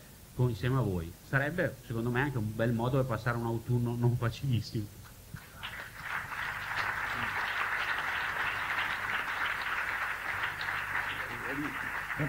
vorrei fare una, un'osservazione molto terra terra e pratica. Eh, tu hai parlato di eh, politiche per il lavoro, hai nominato Landini, pensa che, che coraggio, mm. ma proprio parlando con Landini qualche giorno fa, eh, sono venute fuori delle cose che, che probabilmente nessuno di noi, mi permetto di dire nemmeno di voi, conosce, cioè tutti i meccanismi di fatto che sono utilizzati per eludere o violare anche quelle garanzie che oggi esistono per il lavoro ancorché precario. Io sono rimasto sbalordito di fronte alla fantasia che nel nostro paese si utilizza per altro diciamo, in una situazione di sottooccupazione come siamo noi, è chiaro che i lavoratori sono disponibili ad accettare qualunque vessazione pur di avere un minimo di uno straccio di impiego retribuito in maniera eh, irrisoria e umiliante. Ecco, ma voglio dire, eh, forse qui davvero nel campo del lavoro si, si, si dovrebbe mobilitare la conoscenza pratica dei problemi. Sì, reddito di cittadinanza, vabbè, poi sarà difficilissimo poi in un paese come l'Italia evitare che il reddito di cittadinanza diventi mm, farlo bene, ma sì, ma diciamo i discorsi generali, se si riuscisse invece a, a far parlare coloro che sulla propria pelle, qui in Piemonte abbiamo le boite, tu sai cosa sono le boite, te lo spiego poi dopo. Eh, eh cioè, eh, diciamo, il trasferimento del lavoro fuori dal, dai luoghi che sono, che sono, in qualche modo protetti, ma questo è lo strumento più banale per, per eludere.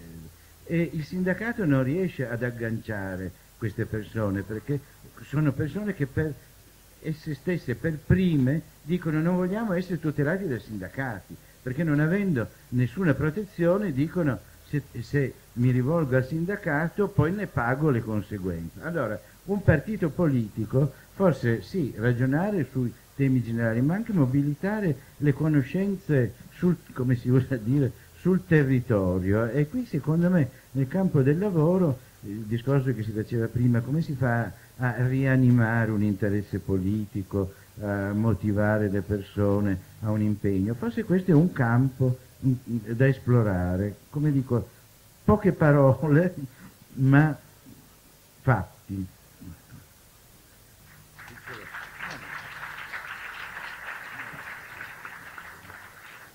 Eh, abbiamo tempo per delle domande? Lei, professore? Come? C'è qualcuno che vuole fare delle domande? Eh, c'è qualcuno che passa con... Oh, non so come fare.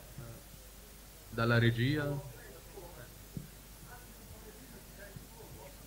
Eh. Sì, dovrei farcela.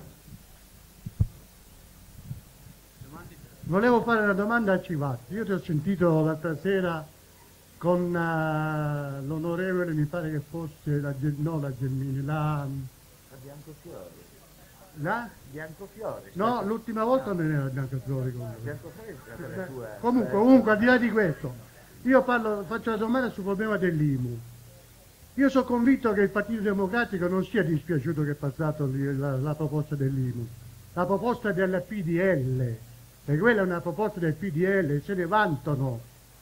Io sono convinto perché all'interno della stragrande maggioranza dei dirigenti del partito hanno le case anche loro e non vogliono pagare l'IMU anche loro, questo è il problema grosso. A livello nazionale questo è un problema che dobbiamo porcelo. Poi un'altra domanda ti faccio, e la faccio con, con molta sincerità. Io ho 43 anni di contributi versati e percepisco 900 euro al mese 43 anni, ma non è un problema personale, ci sono quelli che prendono 400 500 euro al mese. Ma quando è che voi fate un volantino, visto che prima dicevi che sono mesi e mesi che non si vede un volantino? Ma qual è il programma del PD? Dove sta il programma del PD? Dobbiamo aspettare il congresso per sapere cosa vuole il PD? Ma siamo capaci a fare un volantino e dire che le pensioni d'oro devono essere eliminate che una pensione di questo genere in un paese così critico, di una crisi così importante, non si dia una battaglia a livello di sinistra. Il nostro partito ha il compito di guardare queste cose. No, caro compagno, lascici sfogare. Cazzo, parlano tutte le sere loro. E noi parliamo anche noi. Ma dai, su, smettiamola. Smettiamo, diamo la parola al pubblico, parlate. Parlate perché è ora di parlare. Appunto, sono qui per dare la parola e far intervenire altre persone, non... ed erano domande. Eh, ciao Pippo, allora velocemente, eh, sei...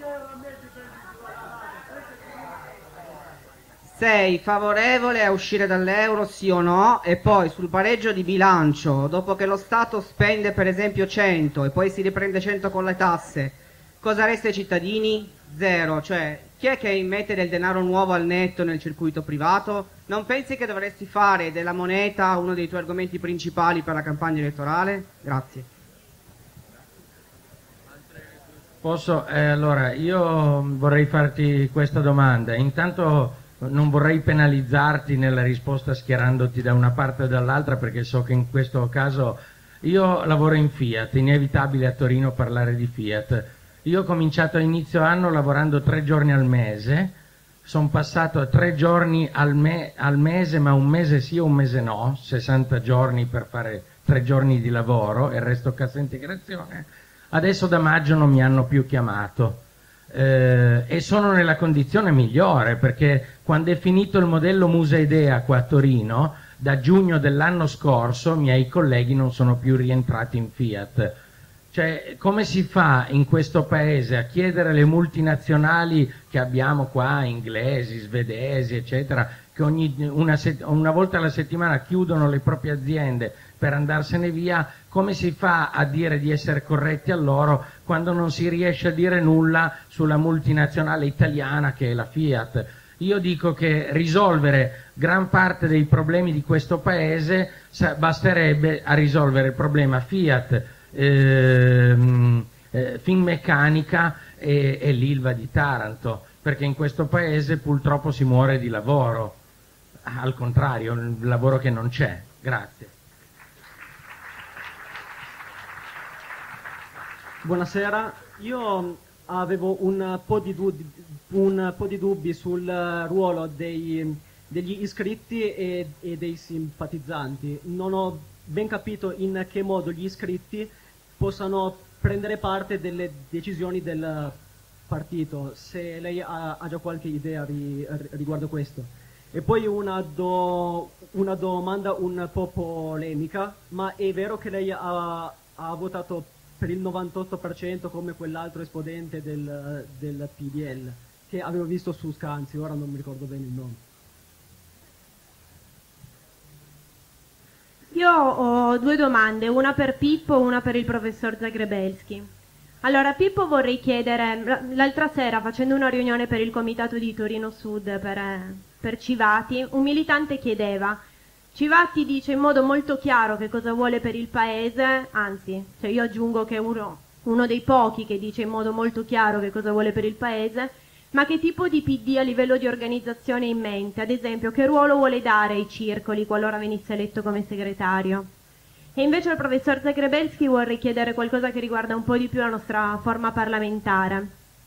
Il fatto che in questo momento si legiferi solamente tramite il, il, decreto legge, che quindi si fa solo in caso di necessità e urgenza, significa che veramente viviamo in un momento in cui c'è, tal, c'è necessità e urgenza e che quindi tutto quanto deve essere giustificato significa che dobbiamo modificare la nostra forma parlamentare o anche questa è una semplice deriva della nostra democrazia che quindi viviamo sia a livello politico che istituzionale? Grazie. Eh, mi chiamo Giovanni, la domanda è a entrambi perché ho ascoltato con molto interesse quello che voi avete sollecitato. Allora, io mi pongo questo problema, se è vero, ed è vero, che noi stiamo consumando più risorse di quelle che abbiamo e che quindi il problema della sostenibilità è un discorso troppo serio, perfino prioritario per la vita, per la vita di tutti, mi chiedo anche, tanti anni fa, quando ero iscritto al PC, c'era la base che veniva ascoltata, nel senso che nelle sezioni i tecnici, le, chi sapeva fare delle cose, che era in fabbrica, che acquisiva delle capacità, erano convocati per vedere insieme che cosa essere capaci di fare. E la domanda è, ma siamo capaci che non abbiamo sempre bisogno di Marchionne o di, dei padroni per fare, soddisfare dei bisogni fondamentali, la nostra casa, i trasporti, il cibo, eh, la solidarietà perché ognuno abbia la possibilità di, so, di sovvenire perché possiamo essere insieme, se non siamo capaci da soli, e non saremo mai capaci da soli, di per esempio risparmiare energia nella nostra casa con un altro, un altro amico, un altro compagno, riusciamo a saper fare queste cose? Cioè in sostanza, se si affrontasse sul serio questo problema di quello che si chiama sviluppo e che ha a che fare con i bisogni fondamentali della vita, ma forse siamo capaci di farli da soli, non siamo più capaci perché ci hanno costretto a fare quel denaro che poi il biscione fa rigirare e quindi siamo noi che produciamo come consumatori, ma siamo capaci di nuovo a essere più produttori delle cose che siamo capaci di fare? Ecco, io credo che questo sia una cosa che va riascoltata e smetterla di parlare, perché questi sono i comportamenti reali che nella vita quotidiana possiamo riaggregare ed essere capaci di risolvere da soli molti problemi creando un'economia dal basso. Grazie.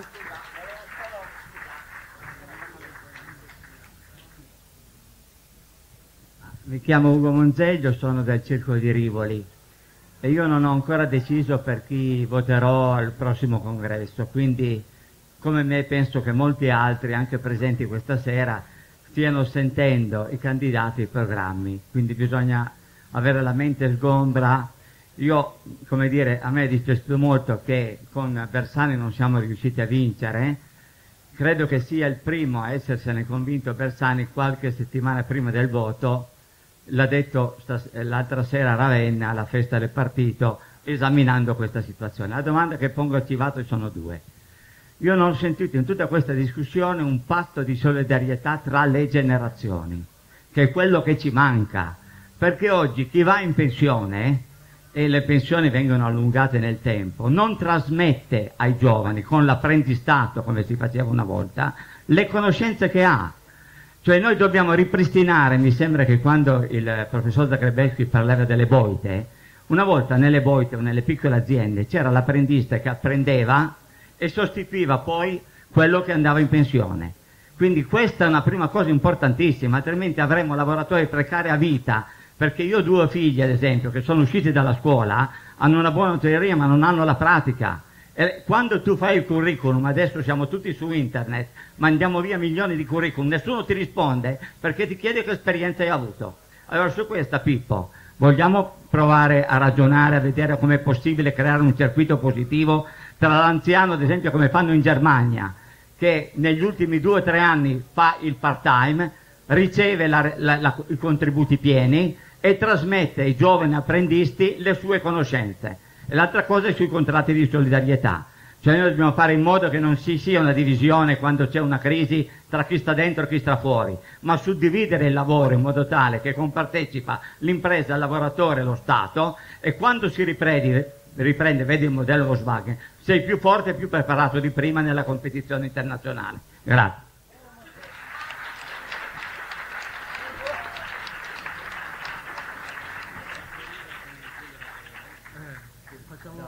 Sì, faccio io, dico solo due parole, poi tu avrai tutto lo giusto spazio che ti spetta. Eh, l'osservazione che faceva il signore con eh, i capelli bianchi, non so, ecco, eh, sì, eh, mi fa piacere che lei abbia mh, mm, proposto questo tema.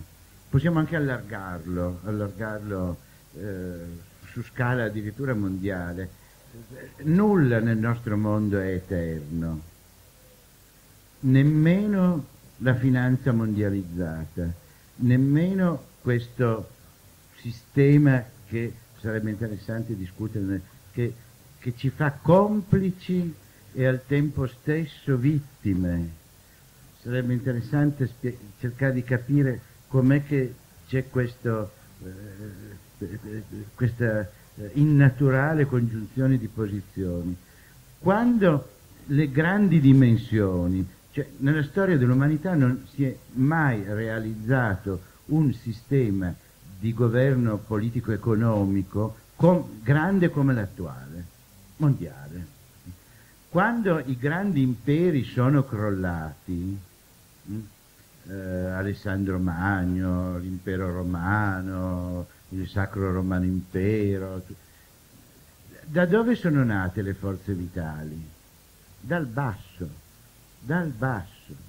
E quante possibilità noi avremo di sollecitare le forme dal basso? Lei faceva degli esempi, il consumo comune, il risparmio energetico, la produzione comune. A Torino, in Piemonte, abbiamo Carlin Petrini, che è un genio nell'inventare novità sul piano della, della produzione. Conosciamo queste energie dal basso. La politica non avrebbe oggi il compito fondamentale di ascoltare e poi favorire queste cose. Il nostro avvenire non è l'Ital, Sider, no? come l'Ital... Eh, come si chiama? non è la produzione, non è eh, l'industria pesante, il nostro avvenire non è questo, finita quell'epoca, bisogna immaginare qualche cosa, più che immaginare, la politica dovrebbe fare un atto di umiltà. È passato il tempo in cui le società si governavano secondo adesso uso una parola che a me è molto cara, ideologie. La parola ideologia non è affatto una brutta parola. L'ideologia è il discorso sulle idee, logos sulle idee. L'abbiamo eh, squalificato per ragioni ideologiche questo termine, ma invece è un bellissimo termine. Vabbè, lasciamo perdere questo. Ma eh, cioè, questo è proprio davvero il tempo in cui io credo che la politica debba stare in ascolto delle energie spontanee che eh, sono i cittadini mettendosi insieme che riescono a, a, produrre. Naturalmente bisogna favorirle queste cose, bisogna conoscerle e favorirle. E la domanda del chi era? Sul, sul decreto legge e, e, la funzione. Ecco, brava signorina. Eh, bisognerebbe fare un lungo, un lungo discorso. Eh, diciamo, l'ipertrofia della produzione normativa del governo deriva, secondo me, in questo momento dal fatto che sulle cose che riguardano l'economia, la tenuta dei conti, eccetera, eccetera, il Parlamento deve stare fuori. Deve, dico, deve dal punto di vista di chi utilizza il decreto legge in questo modo abnorme. È chiaro che non si tratta di atti di necessità e urgenza. Il decreto legge lo si fa per cavalcare la, la funzione legislativa. Quando prima dicevo che la politica si è ridotta alla gestione dell'emergenza, dell'emergenza economica, l'emergenza economica è naturale che passi attraverso eh, i, i, programmi, i programmi di governo, mentre le iniziative parlamentari che possono essere quelle che toccano i diritti civili, che toccano tutta l'altra gamma di, di, di, questioni che interessano direttamente il popolo italiano, danno solo fastidio, danno solo fastidio. Ecco, eh, se, se, noi pensiamo a una riforma, eh, ho visto che c'è un dibattito sulla riforma costituzionale in, questo, eh, in queste giornate, che è intitolato in maniera per me assai sorprendente, perché si dice cambiare la Costituzione per attuare la Costituzione, mi sembra un po' qualcosa tipo l'uroboro, una cosa di questo genere, cambiare la Costituzione per attuare la Costituzione. Ecco, quando si eh, tratta di questo tema del presidenzialismo in una delle sue tante forme, eh, guardate che questa sarebbe la codificazione della prevalenza del governo e della immaginazione del Parlamento. E questo non è un fatto tecnico, fatto è un, una visione della politica. Valorizzare il governo significa valorizzare una dimensione politica che dall'alto scende verso il basso. Valorizzare il Parlamento significa valorizzare della politica la dimensione partecipativa. Eh, sono due, ci spacciano la proposta presidenzialistica come una misura efficientistica. Voi sapete che su queste riforme istituzionali il governo ha aperto una pseudo consultazione via internet. Lo sapevate? Per fortuna. Ecco. Mi dispiace di avervi dato una notizia che avrei fatto meglio non darvi, perché le domande sono di questo genere. Volete voi una riforma costituzionale che consenta di decidere in tempi certi senza subire il blocco dei, delle lobby e chi di noi no, non risponderebbe di sì certo che vorremmo una cosa di questo genere ma e così si presenta la riforma presidenziale come una riforma efficientistica ma se uno va a vedere che cosa c'è dietro c'è una opposta concezione della democrazia rispetto a quella che sta scritto, scritta nella Costituzione, che invece è parlamentaristica. Naturalmente il, la vita politica che si fonda sulle forze parlamentari diciamo, è più difficile, comporta più sforzi, più confronti, più compromessi, ma la democrazia è questa. Io non vedo altra democrazia. L'altra è una autocrazia di investitura popolare, il, il presidenzialismo. Qui faccio io una domanda a Pippo Civati. Come ci comportiamo sul tema presidenzialismo? Mm? Diciamo, diciamo, che siamo contrari, però poi vediamo, oppure no? No, no, io, no, eh. io, sono, io sono contrario e anche un po' spaventato dal fatto che il PD sia diventato per due settimane tutto presidenzialista per poi far emergere qualche perplessità subito dopo. Noi abbiamo dei, un presidenzialismo settimanale, che non so se... No, ma è successo a luglio, se andate a leggervi le interviste di quei giorni, c'è stata un'escalation presidenzialista e poi qualche forse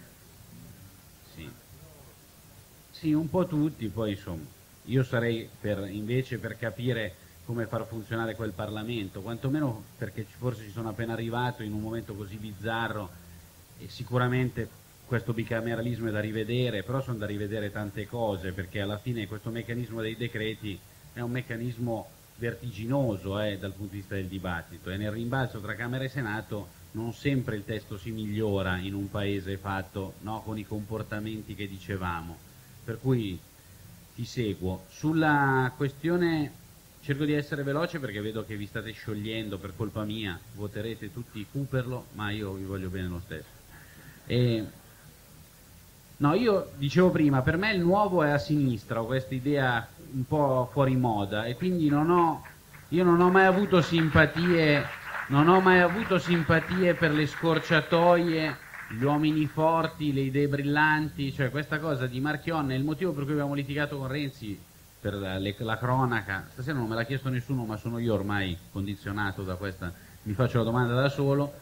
Uno dei motivi per cui abbiamo litigato è che dire che se si sta con Marchionne senza se o senza ma per me è proprio una cosa sbagliata perché se si sta con Marchionne bisogna moltiplicare i se e i ma io che non sto nemmeno con Marchionne vorrei capire anche rispetto dire, alle questioni che sono state poste, perché è giusto l'esempio che diamo noi con la nostra multinazionale verso le altre, è proprio lì il problema.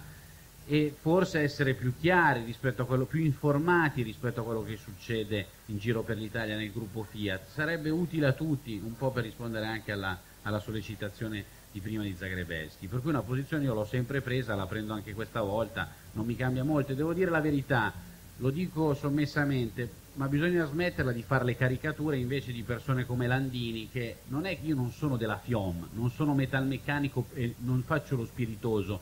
Quando vado a trovarli alle manifestazioni o ai dibattiti, non è che ci scambiamo i posti, ognuno tiene la sua autonomia, ognuno la pensa come prima, però io sono curioso di capire che cosa dice un sindacato come la FIOM, sono curioso e rispettoso delle battaglie costituzionali per la difesa della rappresentanza del lavoro, sono rispettosissimo e guardate che noi non possiamo essere superficiali su queste cose. Ieri l'imprenditore mi dice tu devi parlare meno di Landini, io voglio convincere l'imprenditore che facciamo del bene a lui ma che ragioniamo insieme a Landini, si può fare perché altrimenti facciamo, ripeto, ci sono altri che sono più disinvolti e più capaci.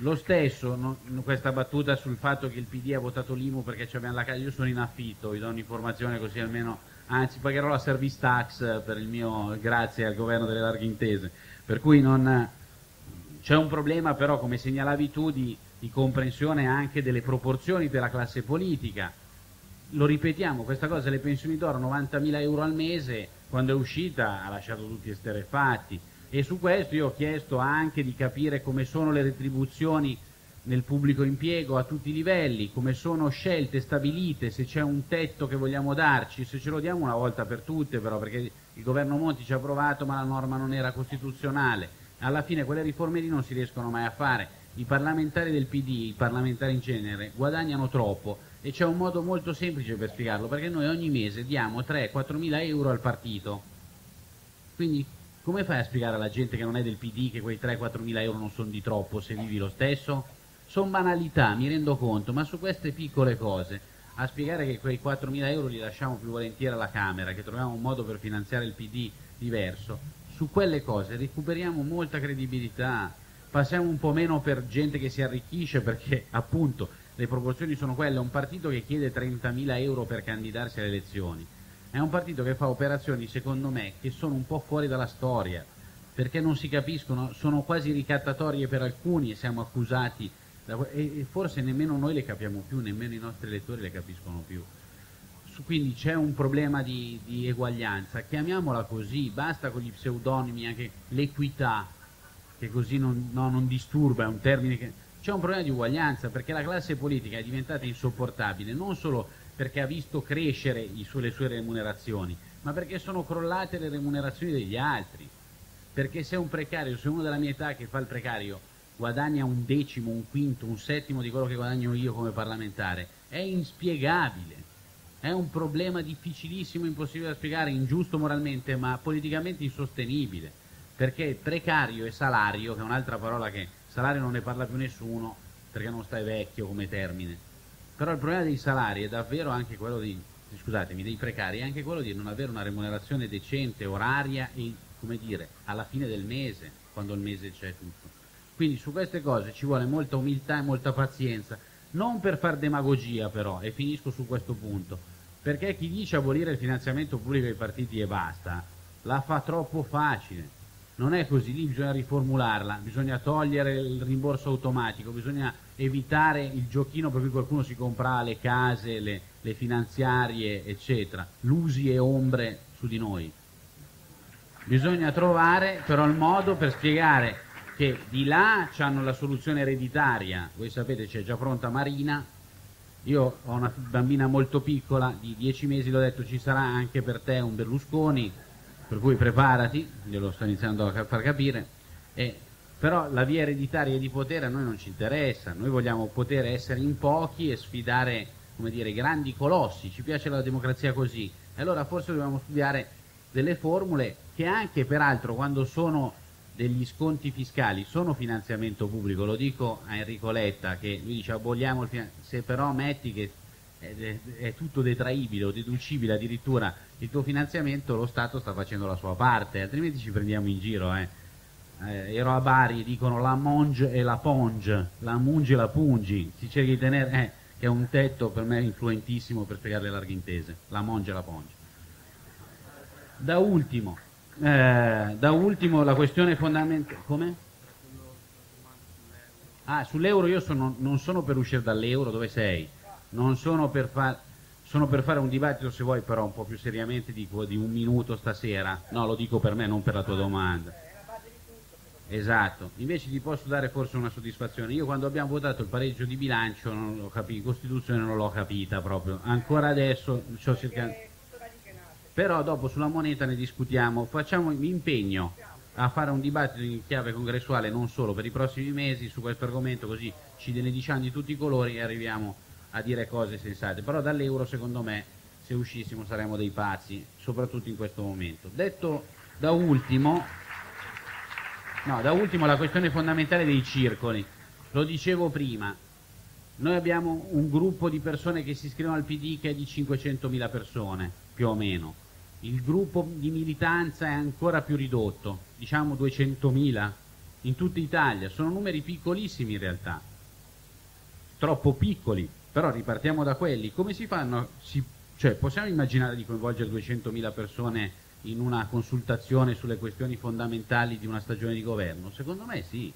Con quali strumenti? Ragioniamoci insieme, però negarsi la possibilità di farlo, negarsi la possibilità di informare chi si iscrive e farlo sentire partecipe sugli argomenti che gli stanno a cuore come posso esserlo io che sto in Parlamento, è sbagliato. La militanza è, questa cosa qui, ci sono degli strumenti portentosi che sono quelli della rete, ma c'è anche la presenza territoriale e le due cose non sono in contraddizione, io sto girando il paese da, da anni a dire questa cosa. Internet non è contro i circoli, Internet farebbe funzionare meglio i circoli, Internet non si risolve nel click, serve organizzare una grande rete di persone che dialoghi da Torino a Mazzara del Vallo sull'argomento che interessa, guarda caso, Mazzara del Vallo e Torino. Non c'è bisogno di risalire le gerarchie.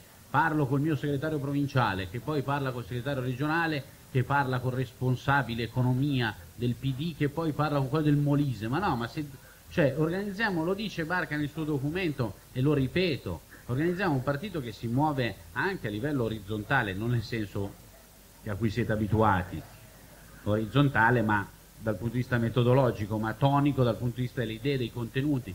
Altrimenti facciamo una cosa strana, noi abbiamo le buone pratiche che sono una disciplina olimpionica, sono le buone pratiche poi la politica non è buona in Italia, ma com'è possibile? Facciamo emergere la struttura di quelle buone pratiche, facciamola diventare, proiettiamola nell'iniziativa legislativa, nelle scelte di governo, anche nei messaggi che diamo, perché lo voglio dire, ma se questi parlano per sei mesi di IMU, la gente pensa che ci sia solo l'IMU, funziona, guardate che la comunicazione e il messaggio funzionano, noi che, quali sono le battaglie sulle quali vogliamo dedicare i prossimi mesi e la nostra vita politica, quello è il punto e dobbiamo ripeterle, non in modo robotico, perché noi siamo persone libere, ognuno la dirà nel suo modo, però dobbiamo insistere su argomenti a cui, perché la battaglia, come si diceva prima, è culturale prima che politica di, e secondo me è di lungo corso. Quindi un partito partecipe, coinvolto, organizzato, perché più è leggero, più il partito deve essere organizzato. Questo equivoco tra solido e liquido era una boiata totale questa roba qua. Siamo andati avanti vent'anni. Tu come lo preferisci solido? Che è anche una domanda bizzarra nella vita, cioè non lo so, a me piace anche un po' liquido. E in realtà Obama, che è il nostro il partito americano, in Italia l'abbiamo tradotto male perché il partito americano è organizzatissimo e fa una cosa, oltre a usare la rete, i territori, a, a invitare le persone a partecipare e a fare campagne elettorali. Vi ricordate quando le facevamo noi? Ormai non si usa più, no? di dire prendi, fai il porta a porta. Negli Stati Uniti ti dicono anche dove devi andare e se c'è un collegio già vinto ti dicono vai in quell'altro perché lì ci sono un sacco di repubblicani da convincere o da tenere chiusi in bagno, non so, usano dei metodi diversi. Per cui il partito americano l'abbiamo tradotto così, ma oltre a questo loro studiano e la mia proposta rivoluzionaria è che noi non facciamo più le fondazioni di ciascun leader, basta.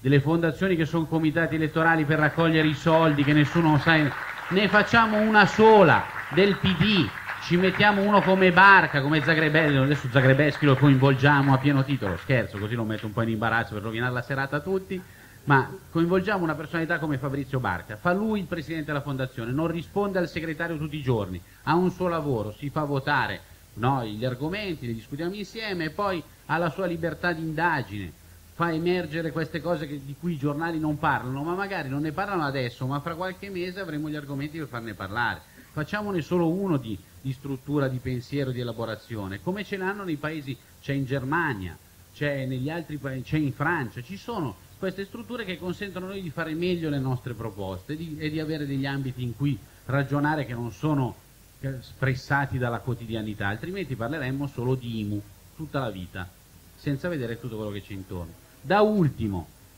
e su questo secondo me noi dobbiamo ragionare, abbiamo il dovere di spiegare ai nostri politici a tutti i livelli che una cosa è la politica e una cosa è il potere.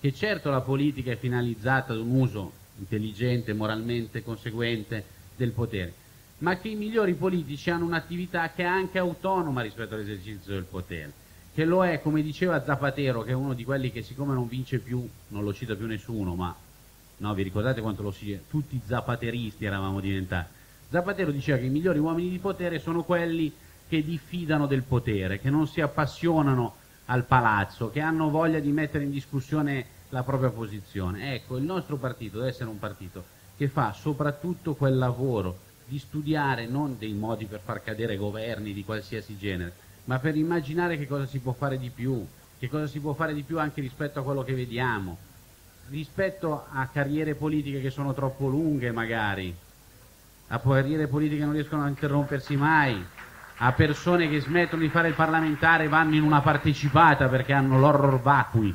E dice, so, no, l'amico del fatto sta facendo un riferimento che non farò a una fondazione bancaria ma non ho capito di cosa stava parlando. Quindi è lui che è malizioso. Quindi, però c'è da spiegare, cioè noi quando c'è da fare una scelta, dopo esserci riempiti la bocca della parola merito, che è una parola che noi malinterpretiamo, ma ne parliamo un'altra volta, quando abbiamo finito così, quali sono le persone che mandiamo a dirigere un'azienda? L'altro giorno mi hanno raccontato di un aeroporto diretto da un chirurgo che ha lasciato, non vi dico la città, che ha lasciato tipo 20 milioni di buco. Meno male, non so perché cioè, potevano anche essere di più, cioè, a me se mi dicessero Civati tu non sei capace di fare segretario, ma se ti metti d'accordo con Pittella, Cooper Lorenzi vai a dirigere un ospedale. Ma no, ma ragazzi, ma siamo pazzi, guardate che si è fatto. Io vengo da una regione, tra l'altro, dove questa cosa l'hanno praticata in un modo straordinario, religioso. Loro sono molto religiosi. Eh no, però è importante perché a un certo punto, caro Zagrebelski, no, e finisco con una nota simpatica, ma questo è, una delle questioni per cui la politica non la sopporta più nessuno ad un certo punto c'erano talmente tanti esponenti di ICL, eh, no, ma erano tutti di Comunione e Liberazione, che noi chiedemmo insieme a Carlo Monguzzi, un mio strepitoso collega, un, attraverso un ordine del giorno, di votare che una quota di minoranza fosse riservata ai non cellini, un 20%, cioè uno laico, uno juventino, un, un granata, cioè uno diverso. E quasi quasi passava, perché anche la destra, quella più liberale, diciamo così, si era un po' stufata. Generazioni di dirigenti che nominavano sottoposti, che davano consulenze, in un sistema perfetto, però malato, che è durato troppo, e la questione del, dei mandati, della, ve la ricordate, no? Fummo in pochi a sollevare la durata in carica del Presidente della Regione, prendendoci anche delle lezioni di stile. In realtà avevamo ragione, perché l'ultimo mandato di Formigoni è stato quello devastante, quello di troppo. E peraltro, per dire come però è importante, oltre a dirle queste cose, farle, io sono andato a Roma dopo otto anni a fare battaglia a Formigoni e pensavo di essere tipo, a, no, quando, tipo i film dell'orrore, avevo chiuso, c'erano i titoli di coda e mi sentivo libero. Poi Formigoni è stato eletto col Porcellum a Roma. Poi mi hanno messo due ministri del governo dell'Arghintese di Comunione di Liberazione Lombardi, tutti e due, Lupi e Mauro. E poi abbiamo votato Formigoni presidente della commissione agricoltura che quando me, se non io eh, al Senato eh, il PD un po' si è astenuto un po' erano a disagio. Quando me l'hanno detto io non ci credevo pensavo che fosse uno scherzo del mio collega per dire che ne abbiamo fatte di cose un po' contraddittorie e un po' inspiegabili. E per dire da, da ultimo che però il PD queste cose non le deve fare. Quando gli tocca di governare per tanto tempo lui deve praticare una cultura della competenza e dell'alternanza che sia all'altezza della situazione. Ultima cosa che vi dico è che prima scherzavamo, per me l'importante è fare un congresso in cui tutti possano partecipare alla pari, io se vinco sarò generosissimo, se arrivo secondo forse è meglio. Perché il vice segretario secondo me è la carica più importante nel PD. Per cui vi chiedo un provate a pensarci. Il segretario non ce l'ha dopo anche se ci piazziamo è la volta buona che dopo cambieremo le cose. Grazie.